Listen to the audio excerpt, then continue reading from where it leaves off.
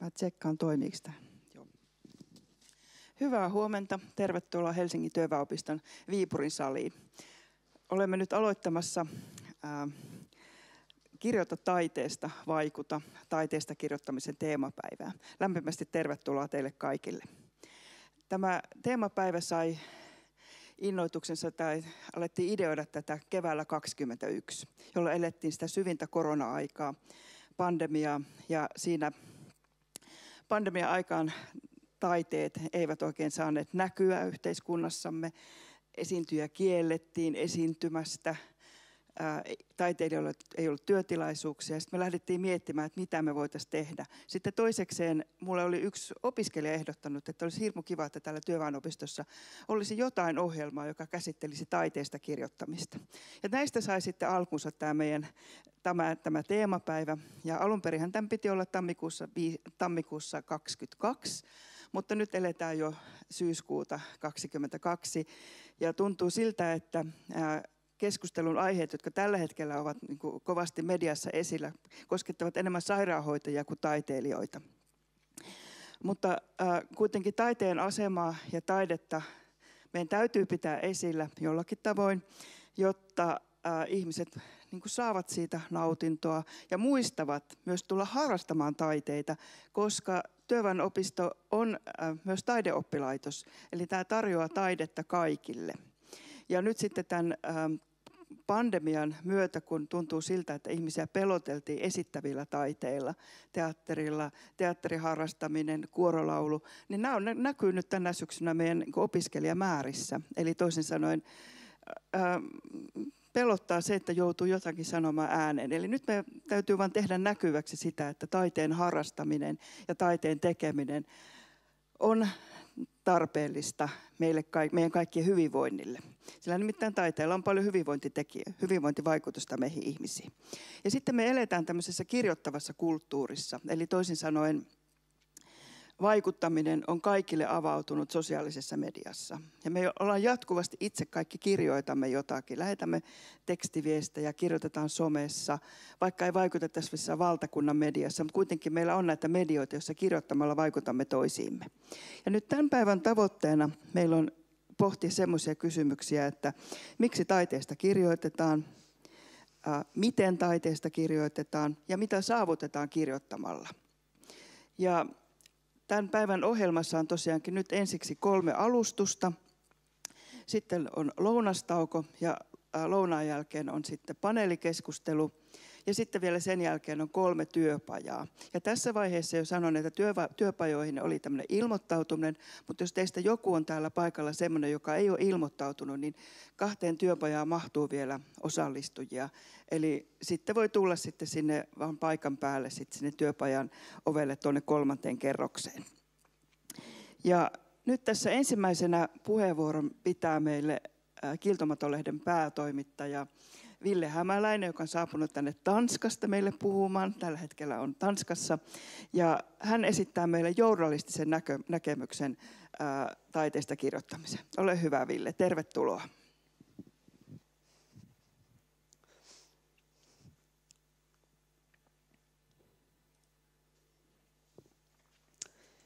Kiitos paljon ja ilo olla täällä.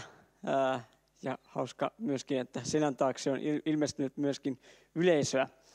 Mm, mä olen tosiaan Vilhämäläinen ja, ja tota, päätoimittajuuden lisäksi myöskin kirjoitan kritiikkejä edelleen ja pääasiassa kirjallisuudesta, mutta myös elokuvasta ja esittävästä taiteesta jonkun verran. Ja myöskin olen kirjallisuustieteen väitöskirjatutkija ja niissä merkeissä nyt siellä Tanskassa, mutta tänään täällä. Tämän on tarkoitus olla tämmöinen poleemis-käytännöllinen alustus tähän aiheeseen. Ja oli hauska päästä tekemään tällaista ei-akateemista esitelmää, koska tässä voi vähän revitellä. Katsotaan, tota, mitä mieltä yleisö on. Ja aloitetaan se sillä, että kun mä aikoinaan aloitin kirjallisuustieteen opinnot, niin puhuttiin vielä kirjailijabrändeistä, mutta nythän ne kuulostaa aika vanhanaikaisilta, ja sitä demonstroidakseni näytän yhden videon.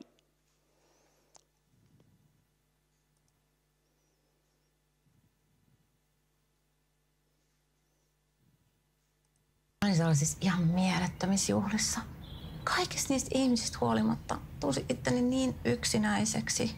Mulla oli pakko lähteä menee. Mä itkin kotimatkalla. Mä tulin kotiin, niin peitoalle, avasin kirjan. Ja arvaa mitä, löysin ystävän. Kiitos, että sä kirjoitat.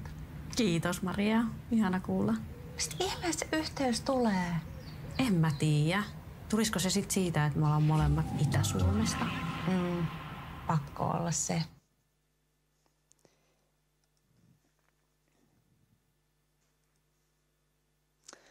Aivan pakko olla varmaan se Itä-Suomi, koska siitähän ne Saara Turusen kirjat kertoo, vai kuinka.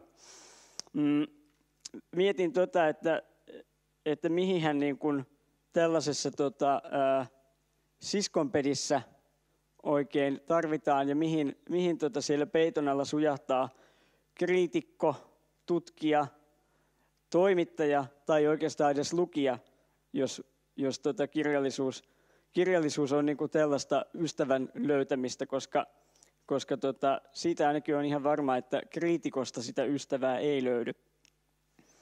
Ja tämä on nyt tietysti niin kuin tällainen tota, kaupallinen mainos ja niissä on tietysti omat lainalaisuutensa, mutta mä väitän, että tämä sama toistuu myöskin ihan oikeassa elämässä.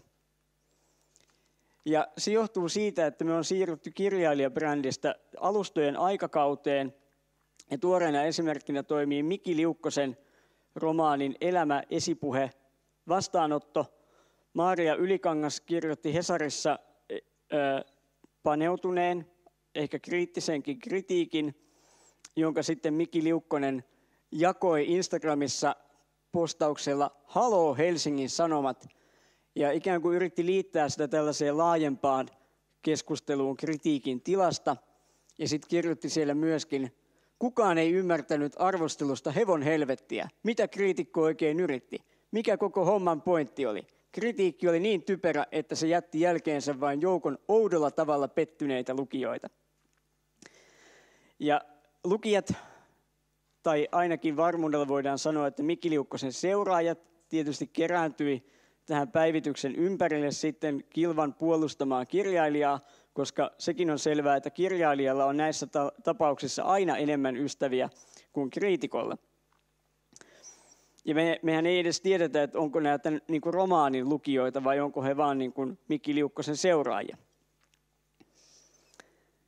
Ja tästä päästään tähän kuvioon, eli kun meillä on kirjailija, jolla on oma alusta ja suora yhteys lukijoihin, ja lukijoilla taas saman alustan kautta suora yhteys kirjailijaan, niin mihin tarvitaan journalistin tekemää henkilöjuttua, jossa toimittaja voi kysyä jotain ikävää, tai ainakin ehkä kehystää ne kirjailijan ajatukset jotenkin ei-mairittelevalla tavalla, tai mihin tarvitaan vielä ikävämpää taidekirjoittamisen muotoa, eli kritiikkiä, jossa voidaankin sitten niin kuin esittää joku aivan erilainen tulkinta siitä romaanista kuin mihin kirjailija on itse pyrkinyt. Ja sitten oikeastaan voi kysyä, että mihin tässä alustojen aikakaudella tarvitaan enää sitä kirjaakaan, kun kirjailija voi kirjoittaa suoraan sinne someen ilmaiseksi lukijoille, ja nämä voi sieltä sitten niin kuin kerääntyä tykkäämään ja kommentoimaan ja ihastelemaan kirjailijan tota, mustavalkokuvia.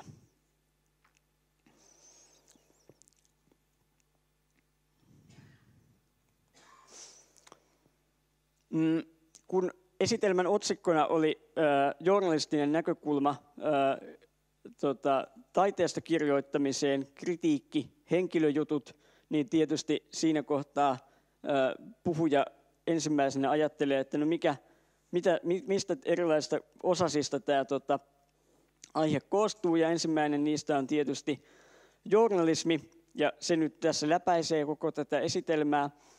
Ja sitten toinen on tietysti kritiikki ja henkilöjutut ja minkälaista journalismia ne on.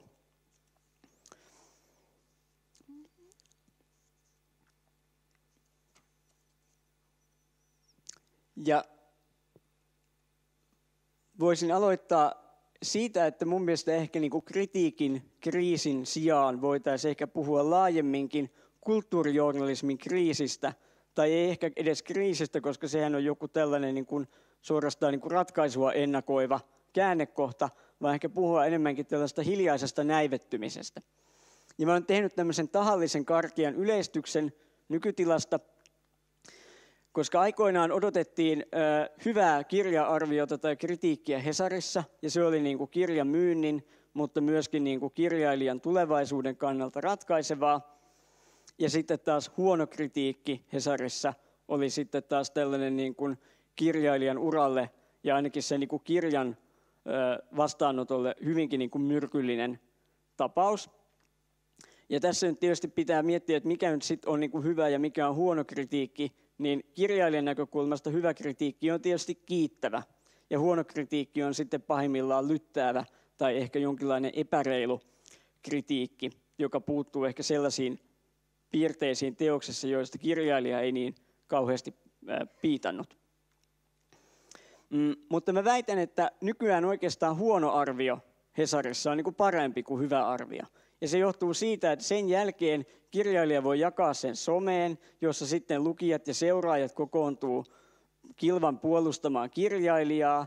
Ja, ja myöskin tavallaan tämä ajatus siitä, että, että kun meillä, meillä edelleen niin kuin on, tai ehkä lisääntyvissä määrin on sellainen niin kuin ajatus siitä, että syntyy tällaisia kulttuurikeskusteluja, jotka ikään kuin on tämmöisiä kohun logiikkaa noudattelevia, että joku kirjoittaa jotenkin hyvinkin poleemisen kritiikin ja sitten siihen kirjoitetaan vastineita, sitä kommentoidaan, sitä kirjailijan someulostulosta tehdään uutinen ja näin ikään kuin on myöskin medialle jotain keskustelua, jota seurata ja pitää yllä, toisin kuin tällainen niin kuin hyvä paneutunut, ehkä maltillinenkin kritiikki, niin sehän on niin kuin se, ja sitten mennään eteenpäin. Mutta siitä ei niin kuin saa samanlaista sellaista affektiivista reaktiota aikaan. Mutta on oikeastaan vielä yksi niin kuin, tämmöinen niin kuin, ö, tota kirjallisen julkisuuden kuningaslaji, ja se on se, että saa sekä arvion että henkilöjutun Hesariin. Koska silloin on tavallaan niin kuin, ö, pääsee sekä kirja että kirjailija esiin. Ja tietysti tässä nyt voi kysyä, että minkä takia tämä on näin Hesarikeskeistä, niin ehkä sen takia, että, että se on niin kuin edelleen kuitenkin se seuratuin ja kuitenkin ehkä etabloitunein media, jossa meillä näitä juttuja ilmestyy ja myöskin niin kuin lukijamääriltään aivan muuta luokkaa kuin Parnassot tai Kiiltomadot tai Nuoret voimat. Ja mä nyt tota, käyn tätä nyt kahden tällaisen tapauksen avulla, tai yhden tapauksen avulla läpi. Ja ensimmäisessä on siis ää, Emilia Sjöholmin ää, tota, ää, henkilöhaastattelun otsikko ja sitten toisessa on, on tota, ää, kritiikin otsikko ilmestyneet samana päivänä, toki eri toimittajilta. Ja tässä voi olla ihan hyvä taustatieto se, että Emilia Sjöholm, esikoiskirjailija tuossa vaiheessa, niin on myöskin niin kuin Hesarin vakiokaartia avustajissa. Eli tämä on niin kuin yksi sellainen piirre, mikä ehkä toistuu, on se, että jos sattuu vielä olemaan toimittaja, niin silloin luultavammin toiset toimittajat tykkää tehdä sitten jutun toimittajan esikoiskirjasta. Mm.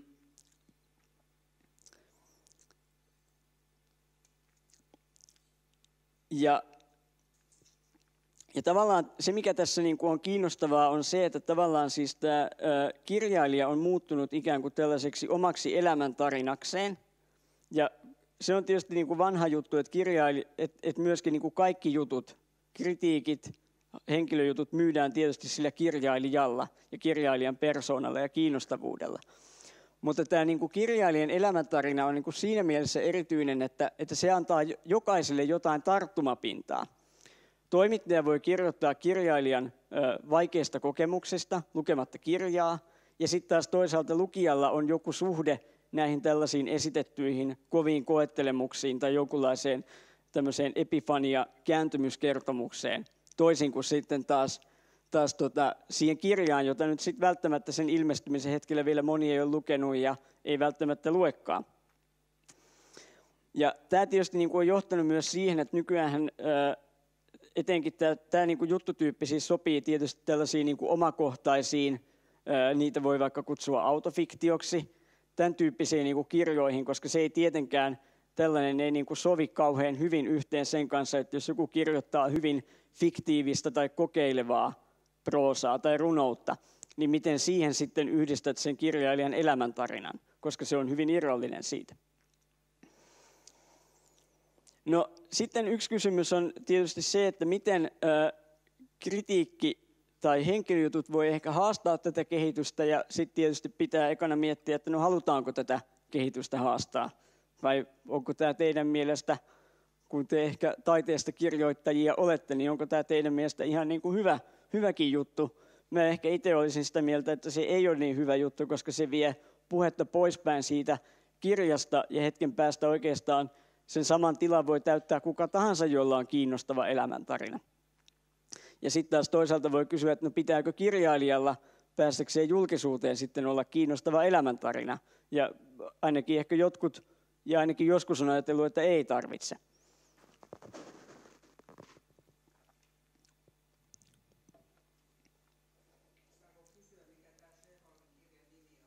Öö, joo, paperilla toinen oli siis tuo kirjan nimi. Mutta sitä ennen nyt pari sanaa journalismista. Eli ensinnäkin tehtävänä on välittää uutta tietoa, ja uusi tarkoittaa tässä nyt ehkä niin kuin sekä ajankohtaista, mutta sitten myöskin uutta tietoa myöskin niin kuin lukijoiden kannalta. Eli jotain sellaista tuoda lukijoiden tietoon, josta he eivät vielä tiedä ja joka on relevanttia. Ja mitä tämä sitten niin kuin taiteessa tarkoittaa, niin tietysti ensinnäkin vaikka, vaikka sitä, että tehdään vaikka juttuja ajankohtaisista teoksista, vaikkapa näytelmäkritiikkiä ei ole kamalan järkevää julkaista puoli vuotta sen näytelmän esityskauden jälkeen, koska sitten se on niin kuin kiva, kiva tieto. Mutta sitten taas toisaalta mä väitän, että myöskin kaikki kritiikin lajit, myöskin näytelmäkritiikit, on syytä tehdä niin, että ne tarjoaa lukijalle jotain tarkoittavaa vielä puoli vuotta esityskauden jälkeenkin, tai luoja ties vaikka kymmenen vuotta myöhemmin. Ja kirjojen kohdalla tämä on niin kuin kiinnostava sen takia, että sen kirjan elinkaari, vaikka kustantamot mitä väittäisi, niin se on niin kuin satoja vuosia, eikä niin kuin yksi syksy tai yksi kevät. Mm.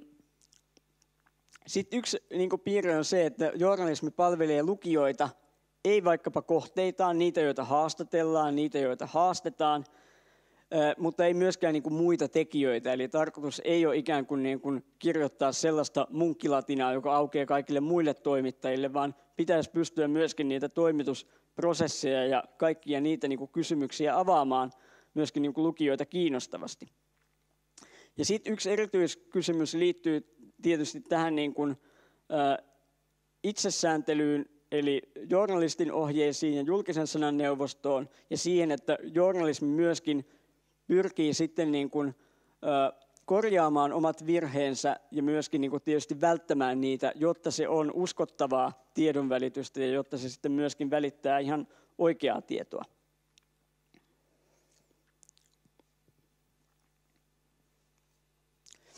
No, henkilöjuttu on niin herran tähden nyt unohtu tärkein pointti. Eli siis henkilöjutun nyt varmaan jokainen meistä tunnistaa journalismiksi, mutta tällainen niin kuin Maria Ylikankaan aikoinaan minun päähäni iskostama ajatus on se, että meidän täytyy aina ajatella, että myöskin kritiikki on journalismin laji. Ja, ja sitä koskee myöskin nämä ihan samat periaatteet. Ja tästä päästään kahteen esimerkkiin, joista ensimmäinen on Markku Eskelisen kirjassaan, ja nyt sen kirjan nimeä en, en nyt tota, kuolleksenikaan muista, ää, esittämä väite, kritiikeistä on tullut kulttuurin valeuutisia.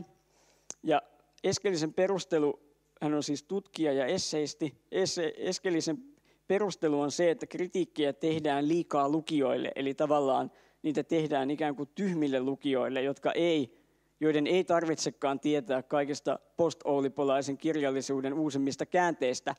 Ja kritiikki on valeuutinen siinä kohtaa, kun kriitikko ei tunnista vaikka jotain tällaisia niin kirjallisia keinoja tai kokeellisia keinoja, joita on käytetty.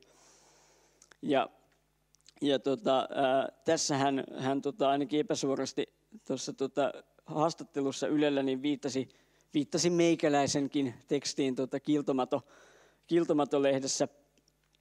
Mm.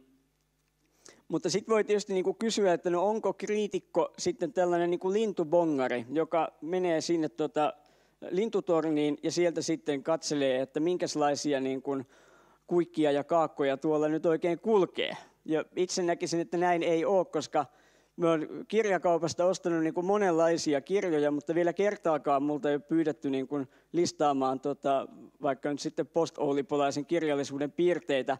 Ja sitten jos menee, niin kuin, menee vain 70 oikein, niin sanotaan, että, että kirja jää tänne ja sinä menet kotiin opiskelemaan ja tuut sitten uudelleen yrittämään. Et kirjojahan lukee siis kaikenlaiset ihmiset. Ja mun mielestä semmoinen niin kuin kunniakkain esimerkki on se, kun joku maakuntalehden keski-ikäinen mieskriitikko – tarttuu helsinkiläisen lavarunoilijan kirjaan, kirjoittaa siitä kritiikin, joka ampuu aivan omituisia lausuntoja siitä teoksesta, ja sitten loppuun kirjoittaa, että mutta en tainnut olla kohderyhmää, koska se kertoo siitä todellisesta lukijuudesta, mitä se niin kuin tuolla ulkona on.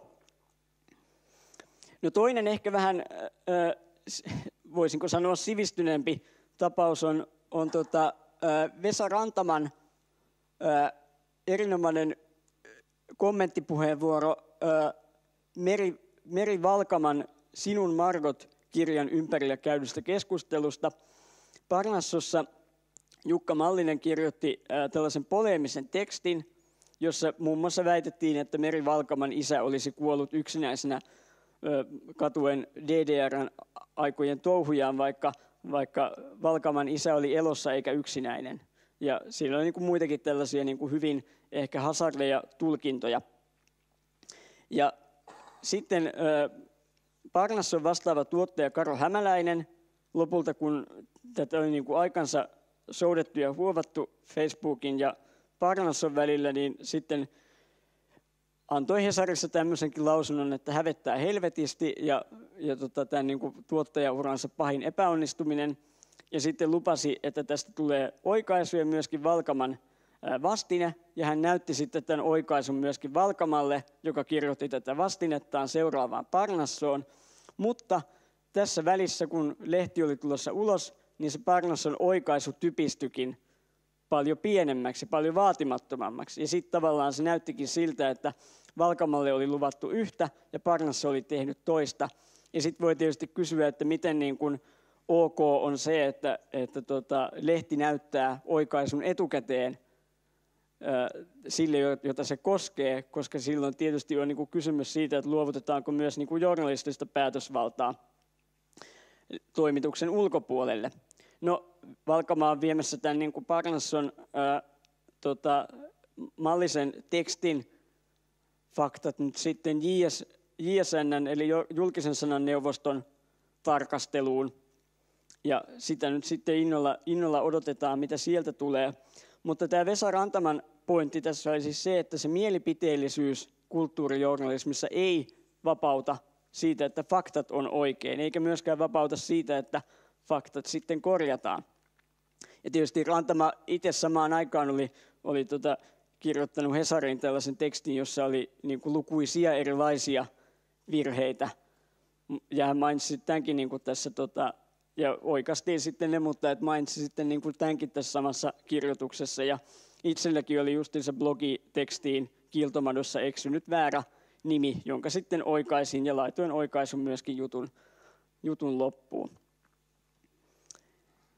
Eli kritiikki journalismina, kritiikki ei ole mielipideteksti, vaikka on.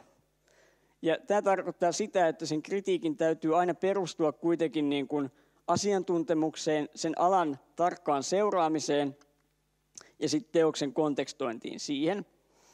Mm.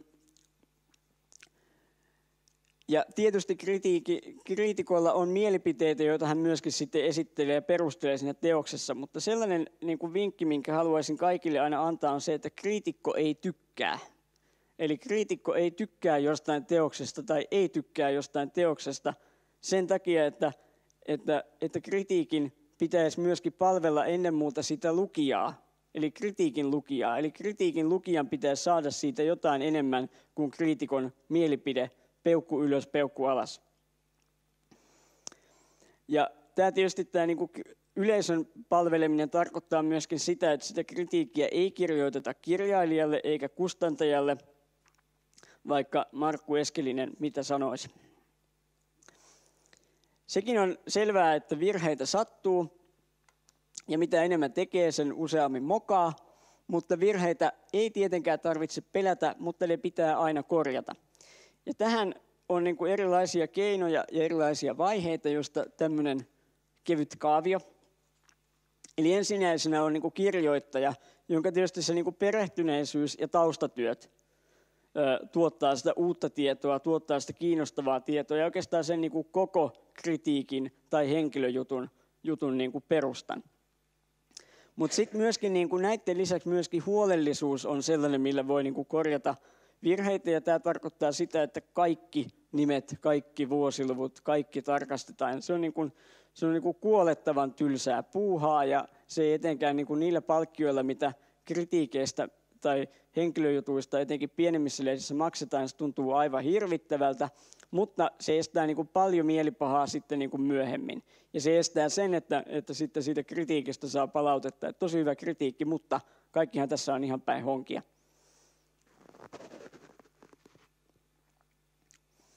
Mm, no seuraava taho, joka sitten osallistuu tähän niin kuin tarkastamiseen, on, on päätoimittaja, joka siis tarkistaa sekä faktat ja vuosiluvut, mutta myöskin sitten niin kuin erilaiset tulkinnat.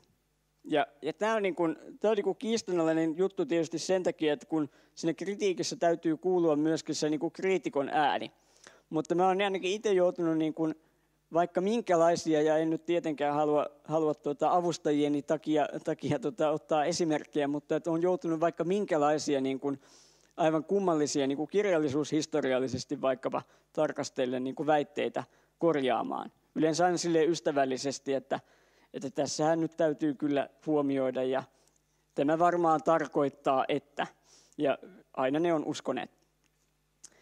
Ja sitten lopulta, jos tästäkin vielä menee lehteen asti, asti virheitä, niin sitten tehdään oikaisu. Yleensä se tapahtuu niin, että lukija on niin kuin toimitukseen yhteydessä ja tämä hoidetaan sitten niin kuin näiden tahojen välillä. Ja oikaisu tarkoittaa sitä, että se, se virhe myöskin oikaistaan, mutta myöskin laitetaan näkyviin, mitä on oikaistu.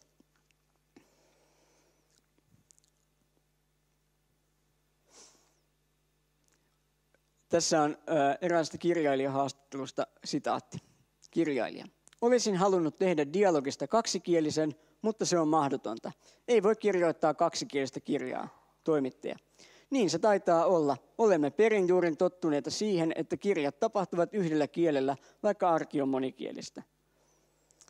Sekä kirjailija että toimittaja on ihan kohtalaisen kokeneita, eikä kummallekaan tullut mieleen, että maailman sivu on julkaistu kaksikielistä kirjallisuutta, jopa kolmi, neli, viisikielistä kirjallisuutta, jossa nämä kielet risteilee ihan miten sattuu.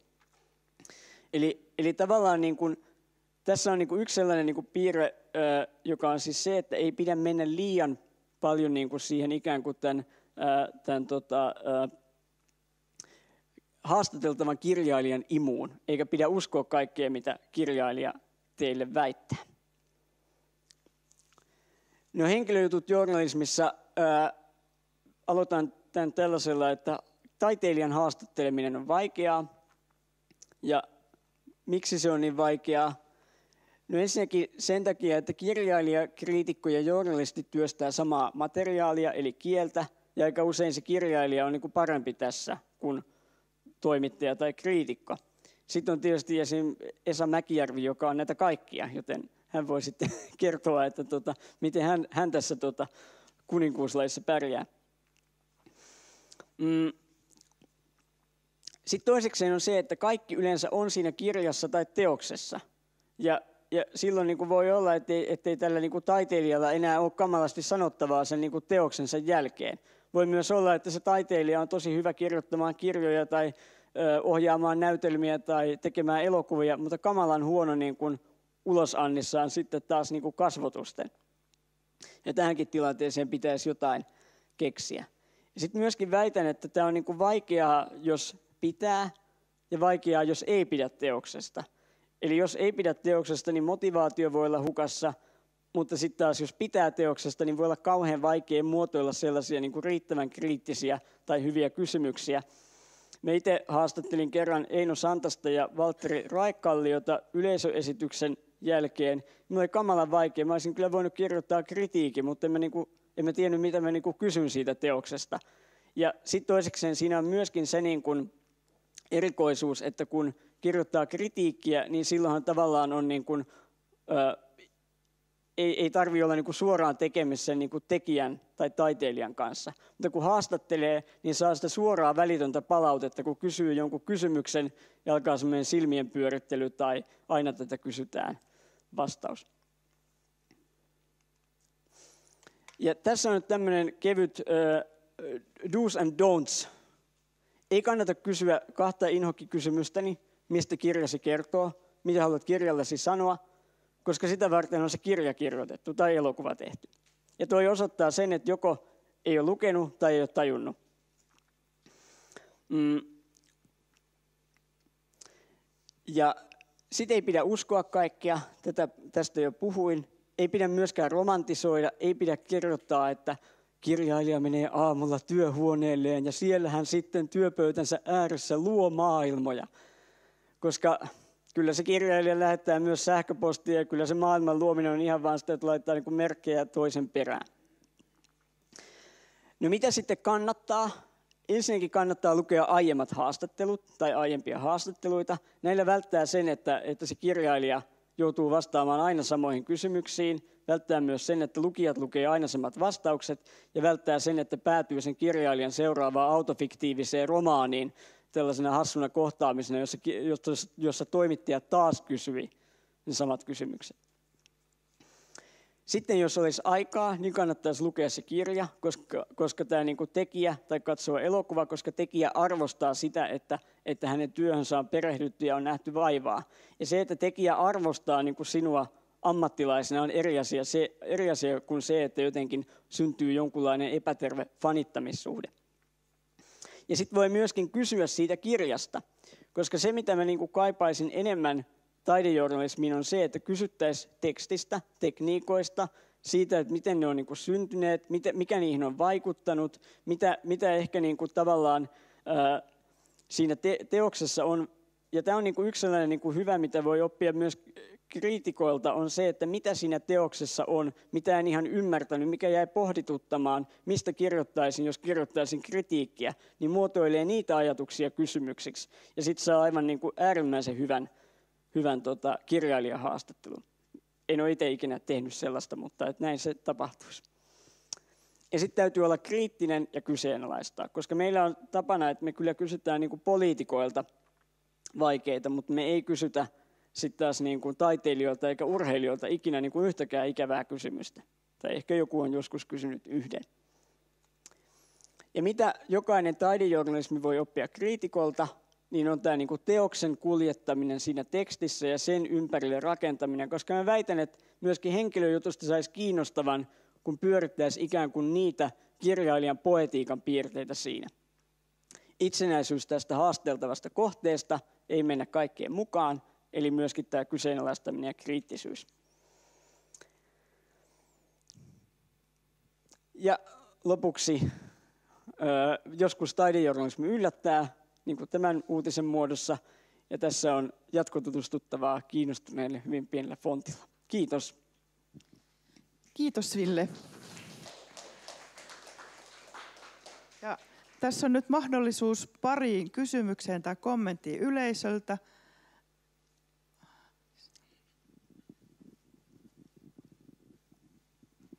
Kiitos. Onko tämä?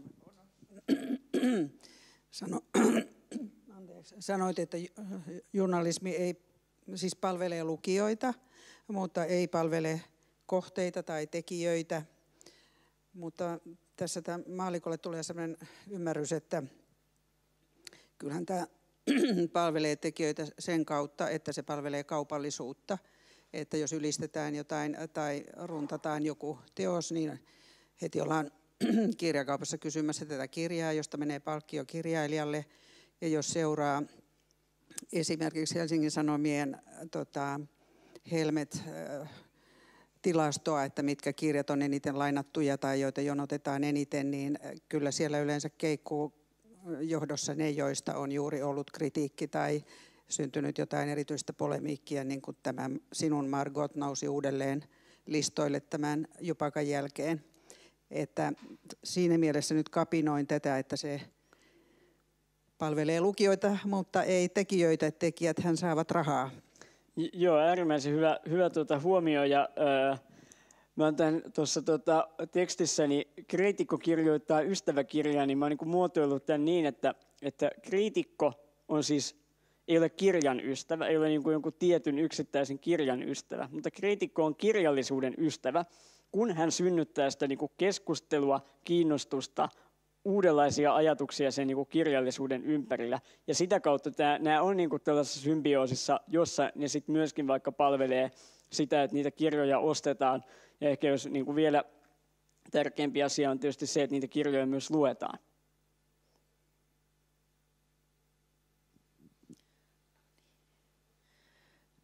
No, kiitos Ville. Ja äh, ehkä sitten tästä aiheesta voi jatkaa sitten paneelikeskustelussa, koska sitten paneelikeskustelussa on mukana myös musiikkikriitikko Samuli Tiikka. Ja, ja toiseksi puheenjohtajana paneelikeskustelussa on sitten kirjailija, toimittaja, kriitikko Esa Mäkijärvi. Eli toisin sanoen se kolmen, kolmen roolin ihminen. Ja seuraavana meille tässä tulee alustamaan äh, puolen tunnin ajan äh, kuvataiteesta kirjoittava, kuvataide terapiaa harjoittava, kaikenlainen kuvataiteen alan monitoiminainen Johanna Waalbeck. Ja Johanna puhuu meille yksinkertaisesti aiheesta kuvataiteesta kirjoittaminen. Tervetuloa.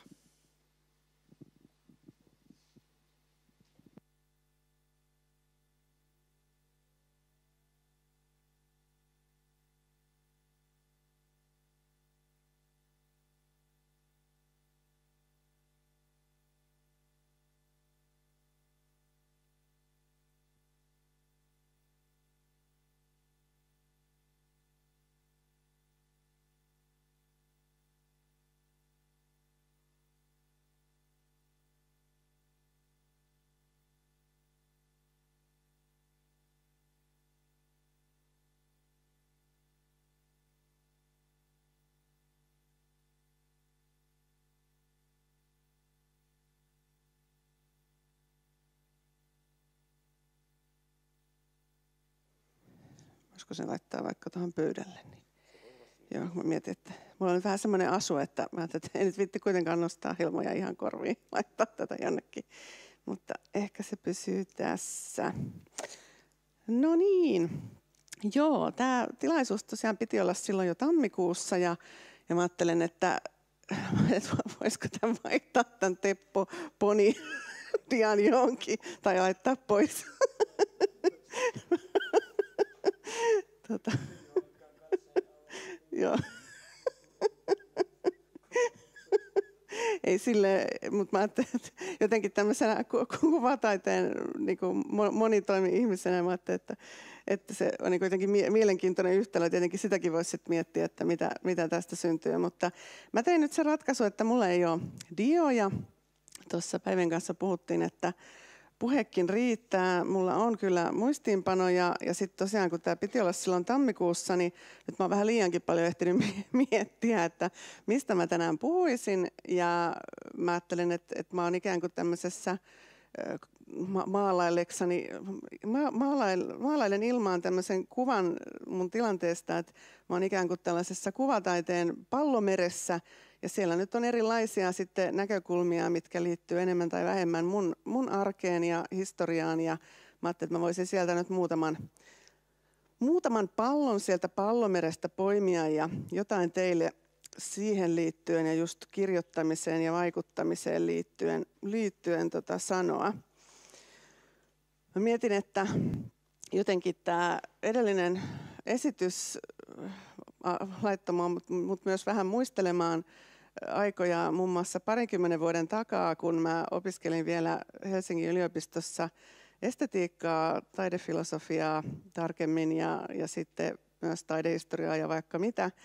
Ja mä muistan, että, että jo, jo silloin mua vähän ahdisti tota, taidekritiikin tila ja mä muistan, kun mä jotain tiedustelin, että olisiko joku kiinnostunut tai ylipäätään sekä lukijana että mahdollisena kirjoittajana tiedustelin, että voisiko vaikka kirjoittaa tuota, kuvataiteesta ja sieltä tuli usein vastaukseksi silloin jo parikymmentä vuotta sitten, että ei me kirjoiteta taiteesta, me kirjoitetaan ilmiöistä. ja mua ärsytti se suuresti ja mä että jotenkin nykyään voisi varmaan vastata, jos nyt vähän liiotellaan, että ei me kirjoiteta taiteesta, me kirjoitetaan henkilöistä. Ja tota, sitten mä toisaalta kuitenkin esimerkiksi kuvataideterapeuttina ja muissakin jutuissa, mitä mä teen, niin kuitenkin mä oon aika käytännönläheinen ja mä oon aina ajatellut jo silloin aikoinaan, kun mä luin jotain Greenbergin tekstejä taiteen tarkoituksesta, niin mä ajattelin, että ei taiteen tarvitse olla vain itsensä vuoksi jotain semmoista kaukaista, suurempaa. Ja, ja mä muistan, että jo silloin, kun mä esimerkiksi hain opiskelemaan estetiikan aineeseen, niin meillä oli pääsykoekirjana kirjana teos, joka käsitteli niin kuin populaarikulttuuria ja jotenkin tämä matalan ja korkean tota, lähentyminen on mun mielestä kuitenkin sit tapahtunut. Ja muun muassa Max Ryynänen tulee mieleen yksi tota, nykyään vaikuttava kirjoittaja, joka omalta osaltaan muun muassa siihenkin on vaikuttanut. Mutta sitten mä mietin, että tavallaan mä ajattelen, että taide nimenomaan voi olla välineellistä ja siitä voi myös kirjoittaa sillä tavalla ja avata sitä kaikkea, mitä ihmisellä esimerkiksi henkilökohtaisessa kuvamaailmassa on sellaista, mitä voi oman hyvinvoinnin palvelukseen valjastaa. Mutta sitten taas toisaalta mä ajattelen myös niin kuin toinen pallo sieltä pallomerestä, että olisi tärkeää, että meillä olisi kirjoitusta nimenomaan tässä tapauksessa nyt mulla esimerkkinä kuvataide, mutta muutenkin taiteesta, joka ei olisi tämmöistä niin kuin pelkästään välineellistä, eikä olisi sellaista, missä mietitään pelkästään niitä tekijöitä takana, ja ei olisi sellaista, että ainoastaan esimerkiksi sellaiset taiteilijat, joilla on sana hallussa ja joilla on niin kuin jotenkin semmoinen ulosanti, että nyt voin ottaa itselleni tilaa ja kertoa, kertoa niin että ei ainoastaan he pääsisi esille, vaan ihan oikeasti niin mietittäisiin sitä taidetta.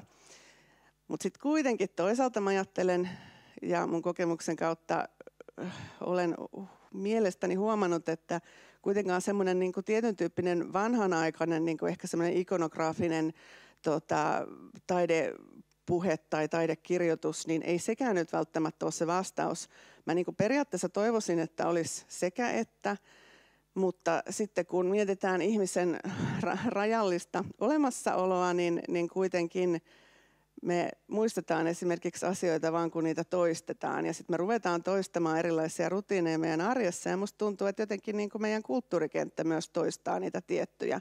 Sitten mietin, että kun tämän päivän otsikkokin on, että kirjoita taiteesta vaikuta, niin miten siihen oikeasti voisi vaikuttaa, niin jotenkin mä ajattelen, että, että semmoinen tietyn tyyppinen markkinoinnista tuttu, varmaan ärsyttäväkin kohderyhmäajattelu voisi periaatteessa kuitenkin olla hyväksi ja sitä voisi ajatella vaikka semmoisena tiedottamisena, että kun esimerkiksi haluaa kirjoittaa taiteesta, esimerkiksi näyttelystä tai kuvataiteen ilmiöistä, joiden ei tarvitse olla mitä tahansa arjen ilmiöitä aina, niin onko se mahdollista, että, että voisi niinku miettiä, miettiä sitä yleisöä niin, että ihmiselle tulisi sellainen olo, kun lukee sitä esimerkiksi kritiikkiä tai muuta taidetekstiä, että tämä on niin kuin mua varten kirjoitettu, ilman että siinä täytyy olla semmoista siltaa siihen välttämättä siihen itse taiteilijaan, koska mä ajattelen, että vaikka taiteilijan tota, aikomukset on tärkeitä ja oma, oma, oma niin kuin, tavallaan pallonsa, niin mä ajattelen kuitenkin, että, että se, että tuodaan niin taidetta esimerkiksi kirjoittamalla taiteesta lähemmäs niin yleisöä, siis erilaisia kohderyhmiä on tärkeää ja, ja myös niin riippumatonta osaksi siitä taiteilijan intentiosta. Et, et jotenkin musta tuntuu, että vieläkin, vaikka meillä on ollut tota, esimerkiksi internet nyt yleisessä käytössä hyvin pitkään, niin vieläkin musta tuntuu, että välillä mennään siihen, mitä oli ehkä sata vuotta sitten, että kirjoitetaan hirveän tarkasti ja sitten meillä on jotain, silloinhan oli jotain mustavalkokuvia, että ei me edes päästy katsomaan niitä teoksia niin helposti. Nyt me voidaan mennä vaikka videon välityksellä saman tien johonkin näyttelyyn kaukana. Mutta, mutta sitten taas toisaalta kirjoitetaan just henkilöistä, niistä ihmisistä taiteen takana ja yhä, yhä välillä pohditaan sitä, ehkä liian yksipuolisestikin, että, että mikä oli se taiteilijan intentio, mikä oli se ajatus. Voisiko siinä olla joku semmoinen, että me puhuttaisiin enemmän siitä taidekokemuksesta ja, ja ei ainoastaan, totta kai henkilökohtainen panos, niin sittenhän esimerkiksi kun kirjoittaa omasta taidekokemuksesta, niin on helpompaa, että sille lukijallekin tosiaan tulee sellainen olo, että teksti on häntä varten ja hän haluaa sitä lukea, kun sitten taas toisaalta on tämä kultakala-ajatus, että ihmiset ei välttämättä pitkiä tekstejä edes nykyään lue. Niin mä että tavallaan se huomio on hyvä napata, mutta ei se tarkoita sitä, että sen pitää olla semmoista pelkkää klikkiotsikkoa. Ja ei tavallaan pitää niin kuin koko ajan vaan kalastella sitä huomiota. Ja sitten kun sä avaat sen taiteesta kertovan artikkelin, niin kyllä mulle tulee sellainen olo, että harvinaisen usein se on ollut tosi pitkään sitä, että toistetaan esimerkiksi näyttelyn tiedotetta. Et, et tietenkin sitten on muun muassa taidelehtiä ja tämmöiset, mutta et, mut et kuinka paljon niitä luetaan. Et, et voisiko niinku olla myös semmoisessa yleisessä mediassa niinku jotain muutakin. Ja, ja just voisiko sitä toistaa niin, että voisi vaikuttaa sitäkin kautta, että, että sitä vaan alkaisi ole enemmän ja sitten sitä alettaisiin pyytää enemmän. Mä tiedä, saatteko te nyt kiinni, kun mä tosiaan olen vähän liian syvällä siellä mun omassa pallomeressä näissä, näissä tota, kaikissa tota, kuvataiteen kirjoittamisen puolissa. Et jotenkin mä mietin, mietin, että mikäköhän siinä sitten on. Mä mietin, että eks, en mä tiedä, tietenkin tulee mieleen, että pitäisikö perustaa joku tuota, kuvataiteesta, tässä nyt mä ajattelen ehkä taiteesta laajemminkin, mutta että oman asiantuntemuksen kautta nyt se kuvataide on se niin sanotusti mun juttu. Mutta pitäisikö perustaa, mä mietin tätä vaikuta-sanaa, että jotenkin, että miten se vaikuttaminen, niin pitäisikö perustaa sitten jotain sellaisia niin kuin vielä isompia yhteenliittymiä, että tavallaan, että nyt kaikki kuulijat, jos, jos olette siellä jossain ja keitä tässä on paikalla, että, että jos, jos niin kuin ne, jotka kirjoittaa, niin entäs jos perustettaisiin joku semmoinen en mä tiedä, ei, ei puolue eikä, eikä lahko eikä, eikä tota, välttämättä mikään yrityskään, mutta semmoinen niin kuin, ei, ei semmoinen, tai jos mä saisin päättää, tietenkin voi olla, että te olette eri mieltä ja muakin innolla odotan sitä paneelia, että mitä me siinä jutellaan, mutta et, mutta et, ei, ei semmoista taidetta taiteen vuoksi, semmoista, ei, eikä sellaista taidetta henkilöiden vuoksi, eikä sellaista taidetta ilmiöiden vuoksi, vaan, vaan sellaista, että oikeasti niin kuin katsotaan sitä taiteen kenttää yhdessä kiinnostuneena ja tuodaan sitä niin kuin lähemmäs. Et, et jos sitä ajattelee just esimerkiksi kuvataiteen kohdalla, niin, niin kyllä mun käsittääkseni nykytaiteen siinä länsimaissa 1960-luvun tienoilla ruvettiin puhua tai si- siitä asti puhutaan nykytaiteesta, etenkin tänään tehty taide on nykytaidetta, niin kyllähän siinä alun perin oli, oli semmoista ajatusta, että tuodaan taidetta niin kuin lähemmäs niin sanotusti niin kuin erilaisia ihmisiä. Mutta mut sitten tuntuu, että et siinä on niin kuin, et, et sen verran, mitä mä oon itse ollut erilaisissa taidekuvioissa töissä, taide, taidemuseossa, taide erilaisissa kuvioissa, niin, niin mun mielestä siellä on ihan niin kuin, siellä sisälläkin semmoista huvittenaisuutta siitä, että no nyt en kyllä ymmärtänyt tästä seinätekstistä mitään. Tai nyt kyllä tämä niin kuin meni yli. Ja sitten siellä on niin kuin, mä mietin, että et ehkä semmoinen niin se, sekä että ajattelu, että et just, että ei tarvitse olla niin kuin semmoista elitististä yhteen totuuteen tähtäävää taidetta taiteen vuoksi ikonografiaa, mutta ei myöskään, myöskään tarvi olla sellaista niin kuin klikki, klikkiotsikko pelkästään henkilöt ainoastaan, jos heillä on tämä henkilökohtainen, joka tulee sieltä esille, vaan, vaan että olisi, olisi niin mietittäisiin, että, että nyt tässä on toisaalta tämmöinen, toisaalta tämmöinen.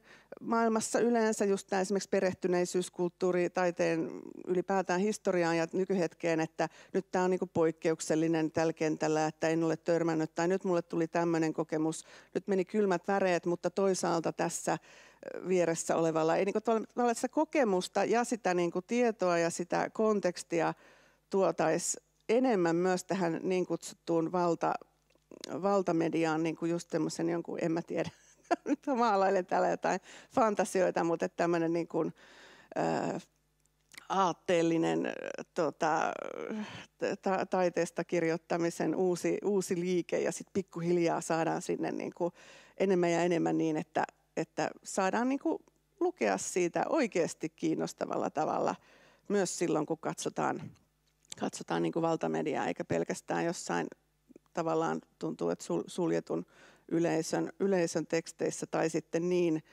koukeroisissa, että siitä niin kuin välillä miettii, että ymmärtääkö kirjoittaja ihan oikeasti, mitä hän tarkoittaa. Se tulee nyt mulle mieleen, mutta voihan olla, että, että todellakin ymmärtää ja mä en ymmärrä yhtään mitään.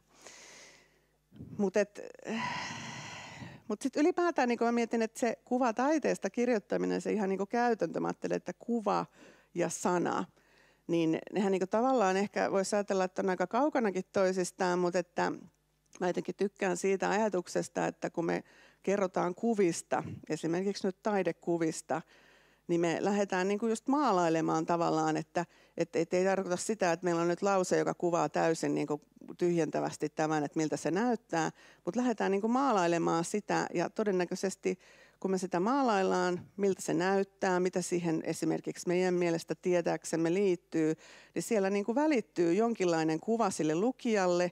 Totta kai siinä voi olla myös kuvia näkyvillä sen jutun yhteydessä, mutta että sehän ei ole pelkästään se kuva. Et kun me katsotaan valokuvaa esimerkiksi yhdestä taideteoksesta, niin itse asiassa meidän mielihän aina jatkaa sitä. Eli, eli ei me nähdä niin kuin vaan sitä kaksulotteista, vaan me, me ruvetaan, me mennään sinne niin kuin kuvan maailmaan ja, ja sitten jos se teksti niin kuin tukee sitä ja tuo erilaisia näkökulmia, niin sehän niin kuin laajenee ja rikastuu. Et mä tarkoitan sitä, että kun me maalaillaan, mä tässä maalaan ilmankin näköjään, mutta et, et, et me päästään niin kuin siihen maisemaan. Että et, et, et, et vähän niin kuin, et toisaalta sitten mä ajattelin, että no siihen maisemaan, no tarkoittaako se nyt sitten tyylisuuntaa tai jotain sellaista tiettyä kategoriaa tai just sen taiteilijan attribuutteja, tunnusmerkkejä. No voisi sitäkin osaksi tarkoittaa, mutta mä tarkoitan nyt mitä tahansa sellaista kuvallista maisemaa tai kenttää, joka nimenomaan laajenee, laajenee kun siitä, siitä tota, kirjoittaa ja, ja sitten varmaan puhuukin. Mutta et, mut et jotenkin se semmoinen ajatus, että esimerkiksi yhdellä taideteoksella, että olisi vain niin yksi merkitys siellä taustalla tai että se liittyisi vaan siihen taiteilijaan, niin mun mielestä ne, jos unohtaa ja ajattelee just sillä tavalla se, sekä että tyyppisesti. Ja, ja ehkä sitten kirjoittajan kannalta niin kuin se, että et kyllähän siinä, mä että jos kirjoittaa ammatikseen tai edes sivutoimisesti, esimerkiksi nyt tässä kuvataiteesta, niin, niin täytyyhän siihen olla joku intohimo mä ajattelen, niin, niin kyllä, kyllä mun mielestä se tunteen välityskin on, on niin tärkeää, että ei se tarkoita sitä, että lukijan pitäisi olla samaa mieltä, mutta mä ajattelen, että jotenkin se, että miksi minä nyt kirjoitan tästä, niin mun mielestä se olisi jotenkin, jos se välittyy siinä tekstissä, niin mä ajattelen, että sekin niin kuin on sellainen vaikuttamismahdollisuus, että, et, et jotenkin liian harvoin mun mielestä me puhutaan niinku tunteista, että et tunteilla voi myös vaikuttaa. Ja se, että sä itse oot esimerkiksi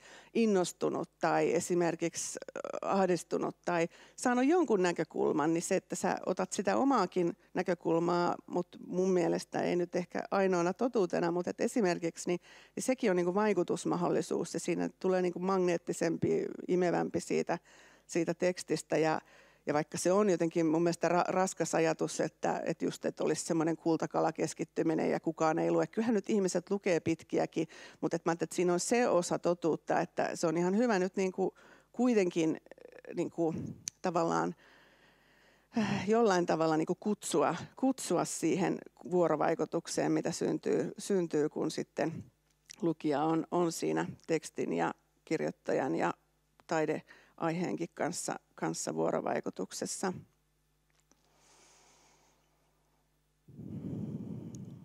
Mutta mä mietin, että kirjoita taiteesta ja vaikuta ja ki- kirjoita kuvataiteesta. Niin mä tiedä, olisiko siinä vähän niin kuin hyvä ylipäätään niin kuin sen lisäksi, että se oma intohimoinen kysyä, että miksi, miksi kirjoittaa kuvataiteesta. Ja mä ajattelen, että, että tai ylipäätäänkin taiteesta, mutta mä ajattelin, että se on yksi semmoinen, mä, mä että jo itsessään, jo, jo niin kuin riippumatta siitä, vaikka mä nyt tuossa menin yksityiskohtiin noista ajatuksista tekstistä, mistä toivottavasti joku sai kiinni tässä mun pallomeressä, niin, niin silti mä ajattelin, että se itse kirjoittaminen on myös tärkeää. Se, että me kirjoitetaan taiteesta ja esimerkiksi tässä nyt kuvataiteesta, niin se on semmoinen, että, että se osaltaan tekee sen että meillä on tilaa taiteelle, meillä on tilaa ilmaisulle.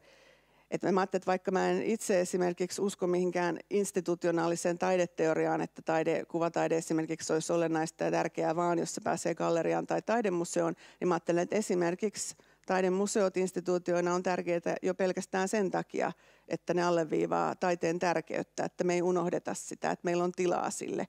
Ja mä ajattelen, että kun meillä on tilaa taiteelle, niin meillä on tilaa myös inhimillisyydelle. Se on kuitenkin, jos ajattelee historiaa tuhansia, tuhansia vuosia taaksepäin, niin eikö kuitenkin tämmöinen niin kuin kulttuurinen aktiivisuus ollut se, mikä tuo niin kuin inhimillisyyden esille. Mutta et, jotenkin mä muistan, että musta, mä pahoittelen, jos tämä on sekavaa. Mä ajattelin, että mä rajaan johonkin ja teen jotkut diat, mutta mä, mä en halua nyt tehdä sitä, kun mulla on mahdollisuus. Mä että mulla on jotenkin mahdollisuus. Mä ajattelin, että mikä mun syy tässä on puhua. Niin mä ajattelin, että mä haluan sitä tuoda. Ja mä ajattelin, että mulla niin on, on se ra- raivoistunut tai ahdistunut tota, yliopisto-opiskelija nuori minussa vieläkin, joka huutaa, että missä se oikea taidekritiikki on, että älkää nyt kirosana ha- haudatko sitä jonnekin, jonnekin. Ja eihän kritiikki edes tarkoita pelkästään mitään niin kuin mollaamista, vaan siis se on just sitä niin kuin tutkimista ja, ja esille ottamista, näkökulmien vaihtamista – ja sitten toisaalta minussa on se kuvataideterapeutti, joka ajattelee, että no ei se todellakaan mene niin, että taiteen ja esimerkiksi kuvataiteen tarvii olla vaan niin kuin taidetta, vaan että se voi olla myös niin kuin semmoinen arkipäiväinen osa elämää ja ihmiset voi valjastaa omaa kuvakieltään ja vaikka mitä ja myös katsojana erilaisiin tarkoituksiin. Ja mä jotenkin mä ajattelen, että, että kun mä esimerkiksi sitten yrittäjänä pääsen, pääsen kirjoittelemaan eri, eri yhteyksiin, niin mä jotenkin mietin tota, että, että saako tykätä. Ja mä että, että kyllä mä joskus niin kuin sitäkin tuon, että nyt mä oon jotenkin innoissani, mutta, mutta se on kyllä, mä että, että se on varmaan joku semmoinen niin kuin taideteoria taustakin varmaan tekee sen, että ei mun mielestä ole koskaan kiva niin kuin vaan laittaa, että nyt on tosi kivaa. Mä haluan jotenkin jotain siitä avata – että miksi. Ja sitten taas toisaalta mä ajattelen, että, että semmoinenkin on tärkeää, että jos ei nyt mitään muuta, niin että, että, että nostetaan, että tykätään, että se on taas sitä tilan luomista, mutta että kun se ei saisi jäädä siihen, että, että tavallaan että, että ei saisi olla semmoista porttia, että, että, että me ei päästä sen taakse, että nostetaan vaan esille, mutta sitten meidän pitäisi päästä myös sinne syvälle, varsinkin jos lukija haluaa, niin pitäisi löytyä niin kuin tekstejä, joiden kautta pääsee sinne syvälle, sinne, sinne niin kuin taakse. Ja mä että, että, että just se, että keskitytään pelkästään niin kuin henkilöihin, vaikka mä en mä ajattele, että taiteilijat ei olisi tärkeitä, en mä sitä ajattele, mutta että, että keskitytään pelkästään, niin mä että sekin muodostaa semmoisen sumuverhon tai semmoisen portin, jonka taakse ei sitten tavallaan pääse. Et, joo, okei, okay, mutta missä? Niin kuin, miten, miten, miten mä pääsen sinne merkitysten, merkitysten mereen? Mutta mä mietin, että, että kyllähän niin kuin sitten Mä ajattelin, että jos mietitään niin kuvataiteesta kirjoittamista ja vaikuttamista, niin ei voi niin kuin välttää sitä, että miettii, että, että, että usein ongelma on myös niin kuin raha. Että että että että sitä niin kuin erilaiset tahot, niin kuin, jotta saa sitä rahaa, jotta voi jatkaa toimintaa, niin, niin sitten, sitten niin kuin tietyllä tavalla. Mutta mut voisiko sitä niin kuin avata, että joo, että vaikka sekin on totta, niin voisiko sitä kuitenkin tehdä vähän eri tavalla? Et entäs jos se itse asiassa olisikin kutsuvampaa ja kutsuisi vielä laajempia kohderyhmiä kuin se, että toistetaan sitä, mitä ajatellaan, että pitää sanoa, tai sitä tapaa, mitä ajatellaan, että pitää, pitää, pitää jostain näyttelystä kertoa ilman, että mennään sinne syvälle. Et, et kun mä esimerkiksi joskus tota, teen tämmöisiä taide, taideretkiä ja sitten mä niinku valmistelen mun alustuksia sinne ja etsin, etsin tota matskua, niin se, se, se on kyllä niin kuin,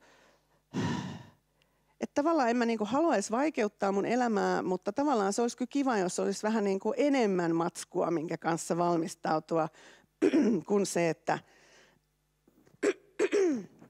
kun se, että katsotaan, tota, mitä, mitä niin kuin Instassa on nostettu ja sitten etsitään – etsitään lehtien artikkeleita, jotka on aika samanlaisia, ellei siellä satu olemaan esimerkiksi joku taide, taidelehden helmi, helmijoukossa.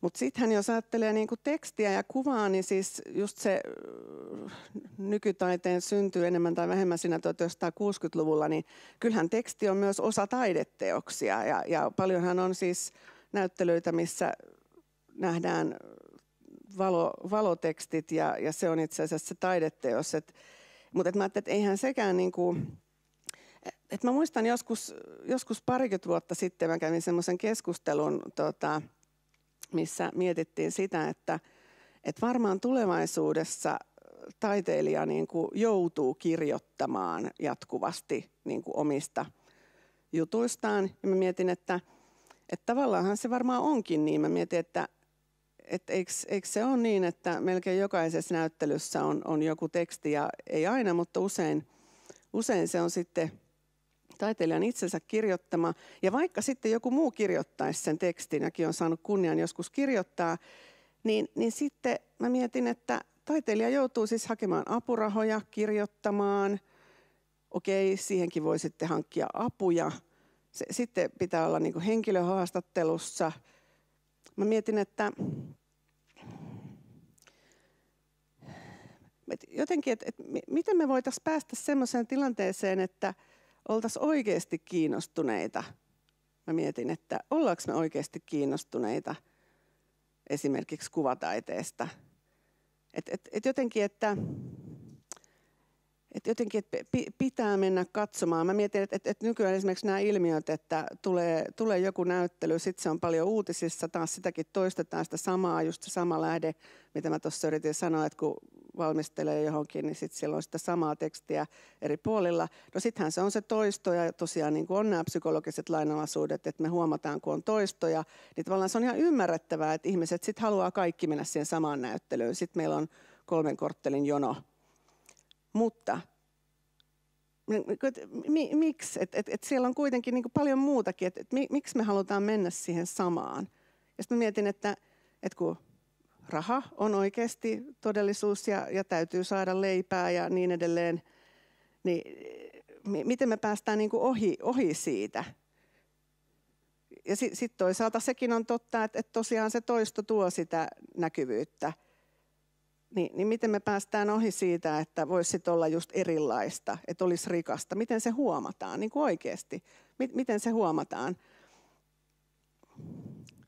Että olisiko se sitten niin kuin mä tiedä, tämmöinen ajatus siitä, että olisi joku suuri aate ja sitten niin kuin tavallaan, en mä tiedä, siis, siis mä ajattelin, että yritysmaailmasta voi kyllä ottaa niin kuin oppia siinä mielessäkin esimerkiksi, no vaikka nyt se kohderyhmäajattelu, mutta et, et jos sitä toisiaan tukien, että jos vaikka muut sitten niin kuin kirjoittajat jakaisivat ja taiteilijat myös niin kuin jakaisi toistensa, kaikki jakaisi, sittenhän se tavallaan se, voisiko siitä muodostua? Mä en nyt tiedä, saatteko te yhtään kiinni ja mä oon pahoillani, jos mä oon aivan jotenkin syvällä tuolla, mutta mutta mä että et voisiko siitä tulla semmoinen niin kuin moninaisuuden toisto?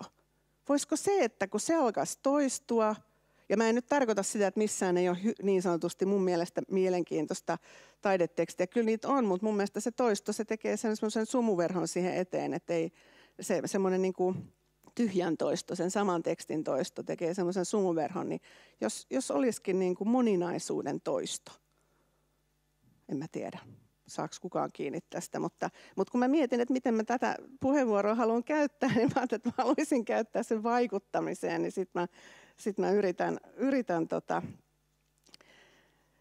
sanoa, mitä, mitä, mitä mä, mä oikeasti olen kaivannut jo kymmeniä vuosia. Ja, ja tämmöinen niin klikkiotsikko meininki, niin sehän on mennyt ainakin mun nähdäkseni pahemmaksi tässä, eikä, eikä paremmaksi. Mutta sitten mä että kirjoittamisesta mä voisin vielä sen verran sanoa, että, että kyllähän niin kuin, jos mietitään kirjoittamista, niin, niin käsitteet hän on, on niin kuin tärkeitä. Ja yksikin sana, niin siinä on monta tulkintaa, ja ei meillä ole niin kuin semmoista lopullista kuvan määritelmää tai taiteen määritelmää, ja jos olisi, niin se olisi mun mielestä tylsää, tylsää sitä nimenomaan, että kannattaa kirjoittaa, kannattaa puhua. Mutta mä ajattelen, että esimerkiksi joku väri, siis vaikka oranssi väri käsitteenä, niin siis sehän tarkoittaa jo itsessään erilaista meille kaikille. Meillä on vähän erilainen värinäkö, me tota, käsitteellisesti mielletään vähän eri tavalla, että mikä on vielä keltaista ja mikä on jo niin kuin punaisen puolella ja mikä siinä välissä on oranssia. Tämä nyt on tämmöinen ehkä typeränkin yksinkertainen esimerkki, mutta mä tarkoitan sitä, että kun kirjoitetaan, kirjoitetaan esimerkiksi nyt kuvataiteesta, niin, niin eihän se ole sellaista, että sitten se täsmällisesti välittyy ja mä mietin, että, että sit jos vielä käytetään niin kuin liian koukeroista kieltä, niin mä että sit se ei se välity välttämättä kenellekään.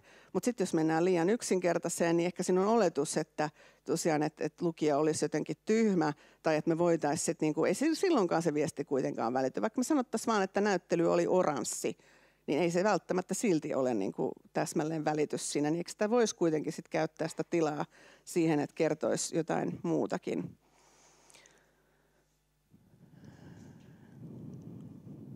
Mutta mä mietin, että tuommoinen niinku ta- taiteilijan niinku ne- neromyytti, niin eikö se syntynyt vasta siinä renesanssin loppupuolella? Mä ajattelen, että, että loppujen lopuksi mä tämä henkilöjuttu, niin voisiko tässä olla nyt joku semmoinen ehkä vähän hegeliläinenkin niinku teesi noussut ja sitten tulee antiteesi. Että, että jos me mennäänkin nyt sitten pois siitä henkilöstä – ja mä että toisaalta niin mä että on tärkeää, mulle tuntuu tärkeältä sanoa just niin kuin mä sanoin tuossa aikaisemmin, että taiteilijan intentiolla on väliä ja mun mielestä taiteilijalla on todellakin väliä ja mun mielestä on silti mielenkiintoista välillä lukea niin kuin myös haastatteluja ja niitä henkilökuvia, mutta se yksipuolisuus, se on se, mikä mua häiritsee. Ja mitä mä ajattelen, että, että jotenkin olisi ihanaa, että vielä laajempi yleisö voisi niin kuin päästä syvemmälle esimerkiksi kuvataiteeseen, kun meillä olisi syvällisempiä, monipuolisia sekä että kirjoituksia. Ja toisaalta paljon, että se pysyy esillä. Mutta että kun mä tässä valmistelinkin tätä esitystä, niin mä törmäsin tämmöiseen ongelmaan, että miten sanoittaa kuvataiteen merkitys. Mä että mä vähän tämmöistä merkityksellisyyspuhetta voin voin sitten tarvittaessa jatkaa myös siinä, myös siinä paneelissa. Mutta että, mut kun me puhutaan kuvista, niin me maalataan mielikuvia.